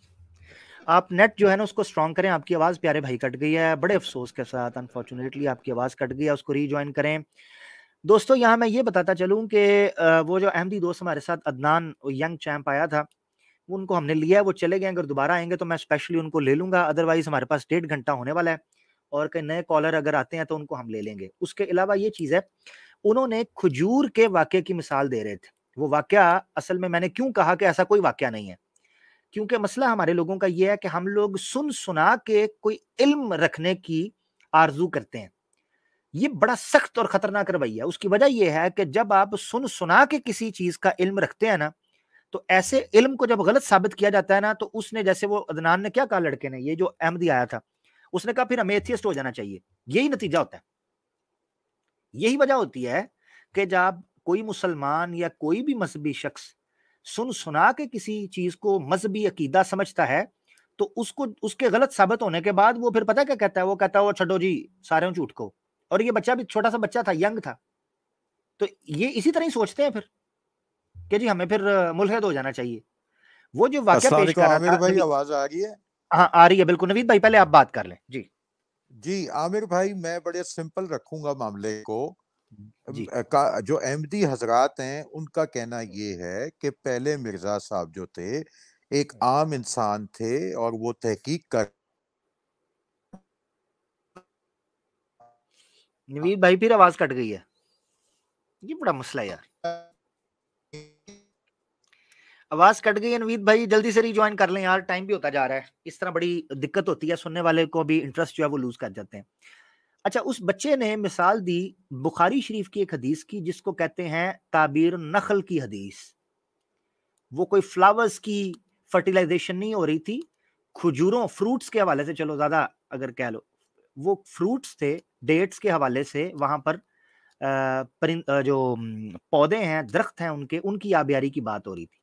नबी पाक सल्लल्लाहु अलैहि वसल्लम ने कहा, इसको ऐसे नहीं, ऐसे कर लो तो मुझे लगता है ज़्यादा बेहतर होगा।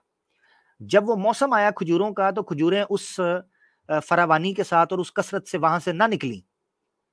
उस दफ़ा खजूरों की जो खपत है, वो ज़्यादा डिमांड जो है वो ना हो सकी पूरी और ना पैदावार ज़्यादा खजूरों की ना हुई। तो ये इससे ये इतराज करना चाह रहे हैं, देखे जी, वो नबी पाक वसल्लम से भी तो गलती हुई है ना, खजूरों को बता। और भाई ये किसने कहा है कि नबी से या अंबिया से जो बशरी अपने रिडार के अंदर कोई जितहादी खता है या कोई गलती है जिसकी इसलाह अल्लाह करता है, कर सकता है या उसकी कुदरत है, वो नहीं होती। कुरान में सैकड़ों वाक्य आते हैं। जो इसका इनकार करता है, वो कुरान का इनकार करता है। वो बड़ा ही बेवकूफ़ होगा, जो ये कह देगा कि अंबिया से कोई जितहादी, कोई जुजवी, कोई अपनी जाती ज़िंदगी के अंदर कोई खता नहीं होती। और ये तो अकीदे की है। अकीदे की। मैं ये सवाल कर रहा हूँ कि मिर्ज़ा गुलाम अहमद कादयानी एक जगह पर कह रहा है, मुझे मसीह मऊद कम फहम लोग समझते हैं। एक जगह कह रहा है, मैं मसीह मऊद हूँ। अहमदी दोस्तों तवज्जो इस तरफ़ करो। खुदारा तवज्जो इस तरफ़ करो। और कुरान की आयत कहती है कि किसी ऐसे शख्स की बिल्कुल भी पैरवी ना करो। किसी ऐसे शख्स की इनशाला नवीद भाई, कोई बात नहीं है। मुझे लग रहा था कि मैं एक बार लास्ट लिंक दे रहा हूँ। जिस किसी ने आके बात करनी है, इस टॉपिक के ऊपर, वो सामने लाइव आके बात कर सकता है। हमारे पास मुख्तसर कुछ मिनट्स हैं। उसके बाद हम प्रोग्राम को दी एंड कर देंगे। जिस किसी ने बात करनी है, अहमदी हो गैर अहमदी हो अपना मुस्लिम हो या अहमदी हो, कादियानी तो वो आकर कर सकता है। असल मसला मेरे प्यारे छोटे भाई अदनान ये है, अहमदी दोस्त, आप पेश कर रहे हैं, जी वो इब्राहिम इस्लाम ने ये, किसी एक ने भी कहा कि पहले मैं नबी नहीं हूँ? मैं तो नबी नहीं हूँ। अच्छा फिर वाक्य पेश करते हैं, जी वो पहली वही आई थी, करा बिस्मी रबी कल्लदी तो उन्होंने कहा कि I am not the learned one I can not read माँ अना भी कार इन। वहाँ ये कहा कहा कि माँ अना नबी इन, मैं नबी नहीं हूँ? किस जगह पर कहा? तो उस पर कहने लगे, जी, हर एक का अपना अंदाज होता है। अंदाज कुछ भी हो, नबूवत का इनकार और अपने दावे का इनकार यहाँ पर जेर बहस है। मैं अभी एक प्रोग्राम करूँगा आगे, जिसमें इसी तरह की मैं जो, अगर हम मिर्ज़ा साहब को हकम और अदल मान लें, या अगर हम मिर्ज़ा साहब को नबी मान लें, या मुहदस मान लें, इस तरह के प्रोग्राम्स इन अल्लाह ताला ने तोफीक दी तो मैं आने वाले अहमदी दोस्तों, आने वाले वक्त में अहमदी दोस्तों के लिए कुछ इस तरह के इसलाही और तबलीगी प्रोग्राम्स कर रहा हूँ। उसमें मैं एक हवाला दूँगा कि मिर्ज़ा साहब ने कहा, जी, कई मुसलमानों का दिल दुखा है, जब मैंने अपने आप को नबी कहा तो बराह करम नबी का लफ्ज काट कर मुहदस समझ लें। ये कौन सा नबी ऐसे करता है? अब उसमें वो सुलह हदैबिया का वाक्य ले आएँगे। कहेंगे, जी, वो सुलह हदैबिया लिखते हुए कुफार ने कहा, मोहम्मद रसूल ना लिखें, मोहम्मद बिन अब्दुल्ला लिखें, क्योंकि हमारी जंग तो रसूलुल्लाह से ही तो है। तो रसूलुल्लाह ने रसूलुल्लाह काट कर मोहम्मद बिन अब्दुल्ला लिखवा दिया। कहते हैं, जी, देखे, वहाँ भी तो काटा है। और भाई मोहम्मद बिन अब्दुल्ला एक हकीकत है, मोहम्मद रसूलुल्लाह एक हकीकत है। मिर्ज़ा साहब नबी की कटवा कर मुहदस लिखवा रहे हैं कि जनाब दिल दुख रहा है लोगों का, इसलिए आप मुझे मुहदस मानते रहे, नबी ना माने। ये किस तरह की बात हो सकती है? अदनान साहब ने दोबारा ज्वाइन किया, इनको ले लेते हैं थोड़ी देर के लिए। हमारे पास बड़ा मुख्तसर वक्त है। अदनान भाई, जी, माइक अनम्यूट कर लें। अच्छा सबसे पहले आपने मुझे बताना है, आपने वो हदीस ढूंढ ली है जो हदीस आप पेश करने लगे थे? माइक अनम्यूट करें। वालेकुम। वालेकुम सलाम। अच्छा पीछे ना वो यूट्यूब बंद कर दें। आपके दूसरे फ़ोन या लैपटॉप पे यूट्यूब चल रहा है उसको बंद कर दें। बंद कर दी। जी। जी। मैंने कहा हदीस ढूंढ ली आपने? आ, नहीं आप आप आलिम बंदे हैं आपको पता है कौन सी आलिम मैं आलिम नहीं हूँ। अदनान भाई आपने लगता आप मुझे कब से सुन रहे हैं? अदनान भाई प्यारे भाई कब से सुन रहे हैं? हो गया कुछ अरसा तो हो गया है जो मैं वो एक्स एम दी है उनका जो प्रोग्राम होता है आपको मैं रेगुलरली कोशिश करता हूँ सुनूं और देखूँ। ज़बरदस्त। तो अदनान भाई आपने कभी सुना है कि मैं कुछ स्कॉलर हूँ को आलम दीन किसी मदरसे का पढ़ा हुआ हूँ? आपने कभी सुना मैंने कहा तो ये कोई बात नहीं होती कि कोई आलम दीन तब भी हो जब वो मदरसे से पढ़ा हो। इधर सॉफ्टवेयर इंजीनियर है। खुद ही घर में ही उन, उन्होंने कोडिंग सीखी है। Very very good very good I am one of that kind मुझे पता है। भाई ठीक है ये सही है मगर मैंने कभी आलम दीन क्लेम नहीं किया या मैं ना आलिम हूँ ना स्कॉलर हूँ। हाँ आपकी तरह कोशिश करता हूँ जिस तरह आपने माशाल्लाह कोशिश करते हैं। मुझे ये बताएँ आपने वो हदीस निकाली फिर ढूंढी? नहीं आपने बयान कर दी मैं सुन रहा था। आपने ठीक है आपने बयान हाँ तो मुझे बताएँ जो मैंने बयान की उससे आपको इख्तलाफ है? अगर कहीं इख्तलाफ है बताएँ। आ, नहीं आ, मुझे उससे इख्तलाफ नहीं है। मुझे सिर्फ़ इस चीज़ से जो आपने अभी बात पेश की देखें असल मकसद क्या होता है एक नबी आने का? मैं ये सोचता हूँ कि नबी आने का क्या मकसद है? वो सूरत वो जो सूरत में वल असर इन इंसान लफी खुसर। के उससे यही नतीजा निकलता है कि दो चीज़ों पे अल्लाह ताला नबी पे यानी नबी भेजने का जो मकसद होता है कि वो वल असर यानी कि बाई टाइम इन इंसान लफी खुसर के सारे इंसान नस्ल इंसानियत का सारे में है। इन आमन जो ईमान लेके आए वो आमिल सालहात और जिन्होंने नेक अमाल किए। अब ईमान यानी खुदा के ऊपर ईमान लेके आना या फिर जो भी नबी हैं जो ये छोट इससे के हज़रत इस यानी कि जो छोटे चीज़ें होती हैं आम तौर पे मैं वेस्ट में इधर जर्मनी होता हूँ तो मैं ये देखता हूँ कि मज़ा और मैं रिसर्च लैब में काम करता हूँ तो मज़हब एक तरह का मज़ाक बन गया हुआ है। ना किसी को मज़हब को मानते हैं और वो कहते हैं कौन सा मज़हब भी मुल्क जो है वो अच्छा है? और एक मेरा दोस्त था उसने मुझे आ, लिस्टिंग दिखाई टेन टॉप टेन जो मोस्ट करप्ट कंट्रीज़ हैं उसमें सारे जो थे वो अच्छा मेरी बात सुने मेरी बात अदरान भाई मैं आपको रोक रहा हूँ। क्यों रोक रहा हूँ? पता है क्यों? क्योंकि मुझे ना सबसे ज़्यादा कोफ्त इरेलीवेंट गुफ्तगु से होती है टॉपिक से मुझे बड़ी उलझन होती है। जरा एक मिनट सुनिएगा एक मिनट जरा सुनिएगा एक मिनट जरा सुनिएगा। मैं आपको मौका देता हूँ मैं नहीं जा रहा कहीं भी। मैं आपके लिए बैठा हूँ। इसलिए तसली से बैठते हैं हम लोग गपशप करते हैं। मुझे आपकी ना जब आपने पहले गुफ्तगु की थी ना मुझे वहीं से शक होना शुरू हो गया था कि जो हमारी यूथ और ये आपका कसूर नहीं है। हमारे मजहबी तबके के जो लीडिंग लोग थे जिन्होंने बागदौड़ संभाली थी उन्होंने मज़हब को इस्लाम को भी मज़हब बनाकर पेश किया और जो मज़हब पेश किया वो भी इतना रिडिकुलस था और इतना मज़ा का खेस था और इतना तंजा मेज था कि वेस्ट में रहने वाले लोग सवाई शर्मिंदगी और नदामत और हसरत के और कुछ ना कर सके। अच्छा नंबर एक। नंबर दो जो हमारी रियासतें थी सियासी हुकूमत जिनके पास थी उन लोगों ने भी मज़हब को अपने मफाद के लिए इस्तेमाल किया जिसका तासुर यह मिला कि शायद मज़हब है ही ऐसी चीज़ है जिससे लोग नुकसान पहुंचाते हैं और फ़ायदा उठाते हैं। गेम करते हैं। ये सोचा गया। अच्छा मसला फिर ये था कि वेस्ट स्पेशली आप जर्मनी में रह रहे हैं तो यूरोप में भी मज़हब को एक ऐसी निगाह से ही देखा जाता था क्योंकि उन्होंने पादरियों पोपों और चर्चों रेवरेंड्स और फादर्स के हाथों मारे खाई हुई थी। तो हम्म। वहाँ का जो सेकुलर तबका है वो मज़हब को शदीद नफरत की नज़र से देखता है क्योंकि वो मज़हब से खौफ खाते हैं। वो उसके बारे में फोबिक है। अच्छा इस्लाम का मामला ये है मेरे प्यारे भाई कि इस्लाम मज़हब नहीं है। इस्लाम दीन है नंबर एक। अब सवाल ये उठता है कि क्या सऊदिया या पाकिस्तान या ये बांग्लादेश या मलेशिया या तुर्की ये इस्लामिक कंट्रीज़ हैं? नहीं। ये मुस्लिम कंट्रीज़ हैं। इस्लामिक कंट्रीज़ नहीं है। हम्म। यहाँ के जो मुसलमान गंद कर रहे हैं ये गलतियाँ कर रहे हैं या स्याहकारियाँ रू गर्दानियाँ कर रहे हैं या अल्लाह के हुक्म की नाफरमानी कर रहे हैं इससे इस्लाम को छोड़ने का तल्लुक कहाँ से बन जाता है? मुझे इसकी लॉजिक आज तक समझ नहीं आई। अगर एक बंदा इस्लाम को सही तरीके से फॉलो करे जो कुरान और सुन्ना कहता है, उसको शर्मिंदगी तो कभी भी नहीं हो सकती। अब आ जाते हैं आपकी बात की तरफ़। आप कहते हैं, जी, वो हम वहाँ पेश करते हैं, लैब में रिसर्च, लैब में काम, फलां जगह पर काम। तो आप जब तक इस्लाम को बतौर दीन अदनान भाई नहीं समझेंगे ना, और बतौर मज़हब या मजहबी लोगों की नज़र से इसको देखते रहेंगे तो मैं भी आपके साथ खड़ा हूँगा मैं भी शर्मिंदा ही हूँगा हकीकत यह है कि सवाई शर्मिंदगी को और बचता ही कुछ नहीं। मगर अदनान भाई, मैं वो बेवकूफ़ नहीं हूँ कि अदनान भाई अगर आप मुझे देखें कि मैं मुसलमान हूँ और मैं अगर शराबें पी रहा हूँ या जना कर रहा हूँ या कत्लो गारत कर रहा हूँ या चोरी चिकारी रिश्वत ले रहा हूँ या धोखा दे रहा हूँ या ज़्यादा कर रहा हूँ या माल गबन कर रहा हूँ है? और मिलावटें कर रहा हूँ तो आप कहें जी चूँकि आमिर हक मुसलमान है और चूँकि ये एक बुरा इंसान है इसलिए इस्लाम ने इसको कुछ सिखाया नहीं है। हो सकता है इस्लाम ने इसको सिखाया चलो जी कहानी खत्म। ये क्या लॉजिक हुई। आप अदनान भाई मेरे सामने कोई ऐसी बात इस्लाम की पेश करें जो वेस्ट कहता हो कि हमें इस पे शर्म आती है मैं आपके सामने इसको जस्टिफाई कर दूँगा। सिंपल बात है। कादियानियत तो बहुत दूर रह गई मिर्ज़ा साहब को बहुत दूर चले गए। चलो सही है। अब वो जो जो टॉप लेवल के एथियस्ट हैं वो जो कहते हैं उनकी अच्छा एक एक मिनट इधर रोकूँगा। अदनान भाई रियली सॉरी रियली सॉरी मैंने काफ़ी लंबा बात किया। अदनान भाई ऐसा कर ले। अदनान भाई ऐसा करते हैं। मैं ना अपनी ईमेल आपको यहाँ पर दिखा रहा हूँ। ठीक है? ए, आपने ना सिर्फ़ मुझे मैं जल्दी से मैं लिख रहा हूँ आपके लिए ईमेल। मुझे एक मिनट मौका दें। किस चीज़ पे मैं मैं दिखा रहा हूँ। नहीं नहीं मैं इधर बैनर पे दिखाऊँगा आपकी स्क्रीन पे आएगा। अभी आएगा। एक मैं अपनी ईमेल आपको दे रहा हूँ। ये ये ईमेल नोट करें काइंडली जल्दी से। नहीं आई। अभी आएगी।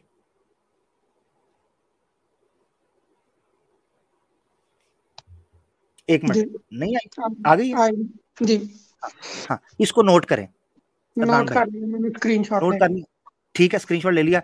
इस पर आपने ईमेल करनी है मैं आपको रिप्लाई करूँगा। हमने एक अलहदा सेशन रखना है जिस पे हम जो टॉप एथियस्ट ऑब्जेक्शंस है ना इस्लाम के ऊपर मॉडर्न डे में इस सेंचुरी के अंदर साइंटिफिक हैं या सोशल हैं या पॉलिटिकल हैं या मॉरल ग्राउंड्स के ऊपर हैं या किसी तरह के भी हो सकते हैं फिलोसॉफिकल लॉजिकल हम उनको डिस्कस कर लेंगे। ठीक हो गया?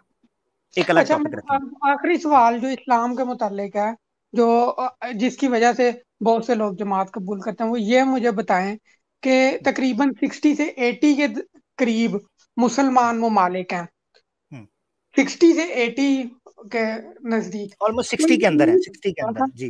सिक्सटी के अंदर सिक्सटी सिक्स के अच्छा तो अब मुझे बताएँ कि एक मुल्क एक मुल्क जहाँ पे लॉ एंड ऑर्डर और जो फ्रीडम ऑफ़ स्पीच है वो एक जोक मुझे मेरे दोस्त ने फ्री, जी, मुझे एक दोस्त ने भेजा था जोक गैर मुस्लिम था उसने उसने मुझे ये भेजा था उसने कहा people Muslims in the west there is no freedom of speech हाँ? Muslims country where there is no freedom of speech हाँ? यानी कि तकरीबन जितने भी मुल्क हैं उधर फिर आप सोशल इनजस्टिस देख लें।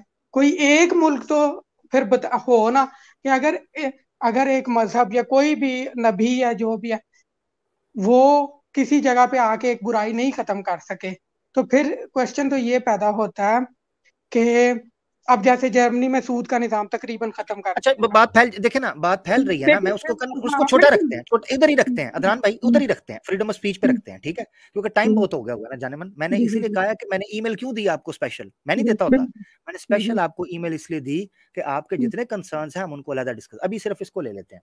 देखिए देखे ना ये है असल मसला। मिर्ज़ा साहब की जात मसला रही नहीं है अब हमारे अहमदियों के लिए मसला मज़हब बन गया हुआ है वेस्ट के अंदर क्योंकि बड़े बड़े इश्यूज़ हैं। और जो तो पीछे से आप तो चूँकि उधर बॉन्ड होंगे या बाद में भी गए छोटी एज में स्कूलिंग वहाँ की होगी तो इसलिए आपको ये चीज़ समझ आ रही है कि मज़हब एक इशू बन गया हुआ है वेस्ट के अंदर।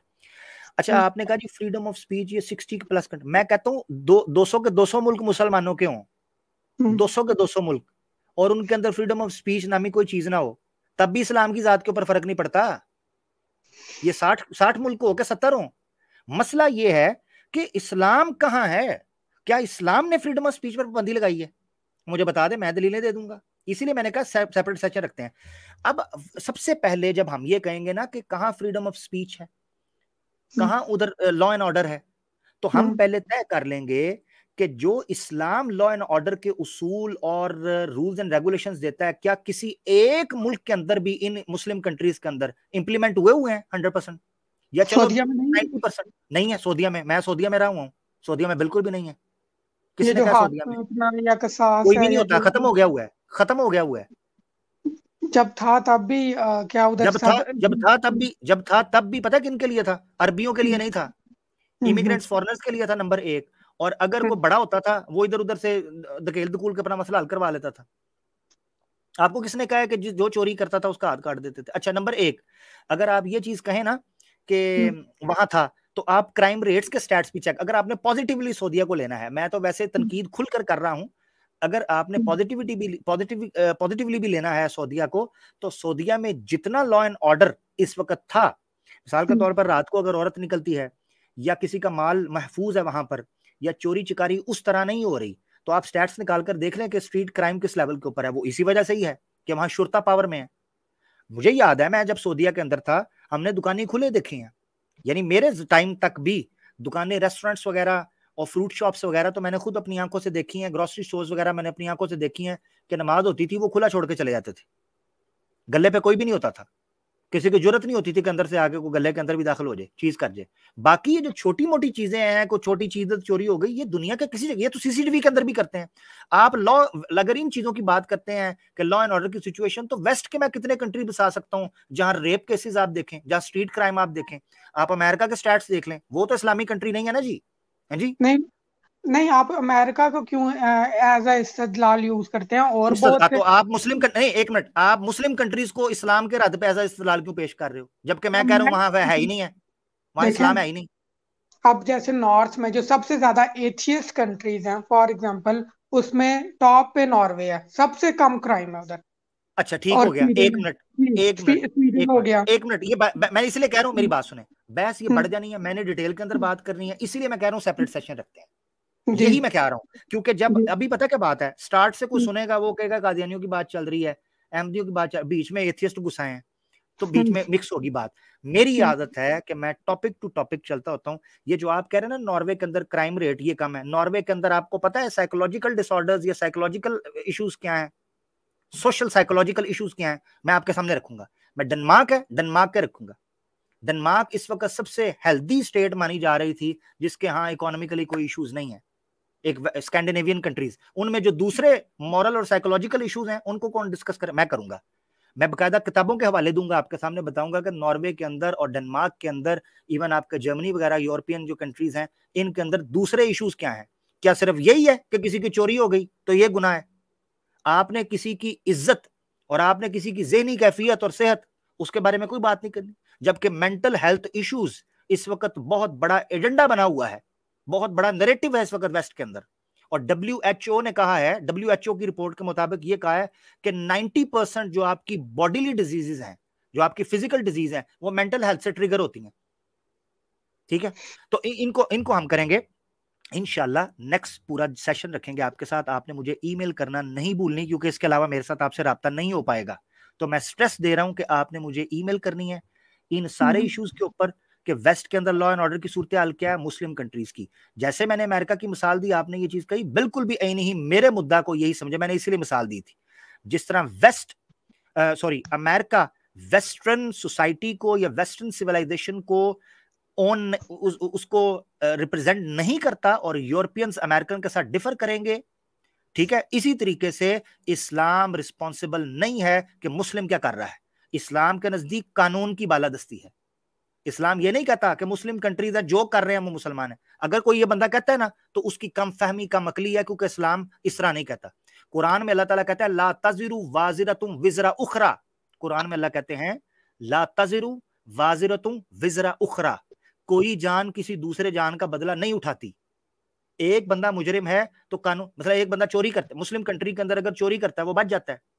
उसका हाथ नहीं काटा जाता। तो क्या मैं कहूँगा कि इस्लाम कहता चोरी? की कम ऑन यार सीसीटीवी के अंदर ये काम हो रहे हैं लोग कर रहे हैं। अच्छाई और बुराई से किसी नज़रिए का क्या है? कम्युनिज्म में क्या हुआ है? कैपिटलिज्म में क्या हुआ है? मैं इन सब के ऊपर बात करूँगा। ठीक है? फेमिनिज्म ने किन किन, किन इश्यूज़ को जन्म दिया है? ये सारे इजम्स जो हैं इन इजम्स के मुकाबले में इस्लाम एक क्या सिस्टम पॉलिटिकल और सोशल जस्टिस का सिस्टम पेश करता है इसके ऊपर हम बात करेंगे मगर आपने मुझे ईमेल करनी है दान भाई ठीक है? अब आपसे मेरी आपकी और मेरी मिर्जाइत पर बात नहीं होगी। जी। भैया मेरा आपसे सिर्फ़ ये क्वेश्चन है कि ये आखिरी क्वेश्चन है। वो ये है कि मुसलमान ममालिक मुसलमान ममालिक सिक्सटी कंट्री कुरान सुबह दोपहर शाम पढ़ के अगर वो पढ़ किसने का पढ़ हैं? किसने का पढ़ हैं? देखें बहुत बहुत व्यूज़ हैं जो का है? कोई नहीं पढ़ रहा। किसने मस्जिदें खाली पड़ी हुई हैं। मस्जिदें खाली पड़ी हुई हैं। अभी तो कोरोना लेकिन अभी कोरोना नहीं पहले भी पहले भी अदनान भाई ऐसे मुबालगा ना करें सॉरी मैं आपको रोकूँगा मुबालगा ना करें एग्जैजुरेट अच्छा, ना करें कोई कौन पढ़ते नमाजें एक एक दो एक एक दो दो मिलियन ये इंजीनियर साहब की वीडियोस के नीचे क्लिक्स हैं। वो एक दो, दो बहुत अच्छे क्लिक्स से पता चलता है क्लिक्स तो दो बार आप करें दूसरी आईडी के साथ तो क्लिक हो जाता है। यार क्या अदनान भाई ये ये वजह थी जिस वजह से मैंने आपको पहले नीचे उतारा था। Like I am talking to a wall ये क्या बात हुई क्लिक्स कम ऑन यार मेक सेंस लेकिन सुन रहे हैं इसका ये मतलब यार हिंदू सुन रहे हैं। हिंदू अच्छा, सुन रहे हैं ईसाई सुन रहे हैं मुलहिद सुन रहे हैं। कम ऑन यार। मेरी वीडियो के नीचे इस वक्त अस्सी बंदे बैठे होंगे सौ बंदे बैठे होंगे। तो मैं कहना शुरू कर दूँ जी वो सारे ही आप भी तो सुन रहे थे ना मुसलमान या आप मेरी बात पे आ जाएँगे? कमाल हो गई यार। I you I you like making sense clicks अच्छा मेरी बात सुने पॉर्न जो होती है पॉर्न वीडियोस है उनके नीचे देखा कितने बिलियन क्लिक्स होते हैं? सारे पॉर्न स्टार बन गए हैं। कम ऑन यार मेक सेंस कमाल हो गया। ओके टेक केयर मुझे ईमेल करनी है। Make sense always make sense ऐसे ना करें जाती ले जी, ये आखिरी हमारे साथ कॉलर थे। दो घंटे होने वाले हैं, नीचे दोस्त बैठे हैं। मैं बहुत माजरत खा हूँ, जिन लोगों की कॉल नहीं ली जा सकी, जिनके सवाल नहीं लिए जा सके। मुझे दिल से माफ़ कर दीजिएगा दोस्तों। इसी चीज़ के साथ प्रोग्राम का अख्ताम करते हैं। दो घंटे हो चुके हैं। आने वाले दिनों के अंदर और प्रोग्राम होने वाले हैं। अच्छा एक और चीज़ मैं यहाँ बताना चाहता हूँ। बड़े गौर से सुनिएगा। आवाज़ हक चैनल के ऊपर कल ए के शेख साहब अहमद करीम शेख, जो कि कनाडा से हैं ex Ahmadi ex Qadiani, no Muslim हैं और एक अवेयरनेस कैंपेन को लेकर चल रहे हैं। ये मैं उन लोगों के लिए थोड़ी सी तारुफ दे रहा हूँ, जिन लोग नहीं जानते। कल उनका आवाज़ हक के ऊपर इंटरव्यू है, जिसमें हम अहमदियत के पास्ट के हवाले से बात करेंगे, जिसमें हम अपना प्रेजेंट के हवाले से बात करेंगे और निदा नसर का केस के हवाले से भी डिस्कस करेंगे और फ्यूचर प्लान्स के हवाले से भी बात करेंगे, ठीक है? तो कल आवाज़ हक पर पाकिस्तान टाइम इनशाला इनशाला नौ बजे के मुताबिक कल का इंटरव्यू होते। जनाब, ना भूलिएगा। और मेरी कोई बात अदनान भाई को बुरी लगी हो, मैं उनसे माजरत खाऊं, मेरे छोटे भाई हैं, और किसी अहमदी को बुरी लगी हो, उससे माजरत खाऊं, दोस्तों, नियत, किसी का दिल दुखाना, criticise for the sake of criticism करना नहीं था criticise for the sake of enlightenment है फॉर द गाइडेंस है और फॉर द रेक्टिफिकेशन है और for the seek of truth है दैट्स ऑल अपना ख्याल रखें इनशाला फिर मुलाकात होती है किसी और वीडियो में अल्लाह हाफिज़ अस्सलाम वालेकुम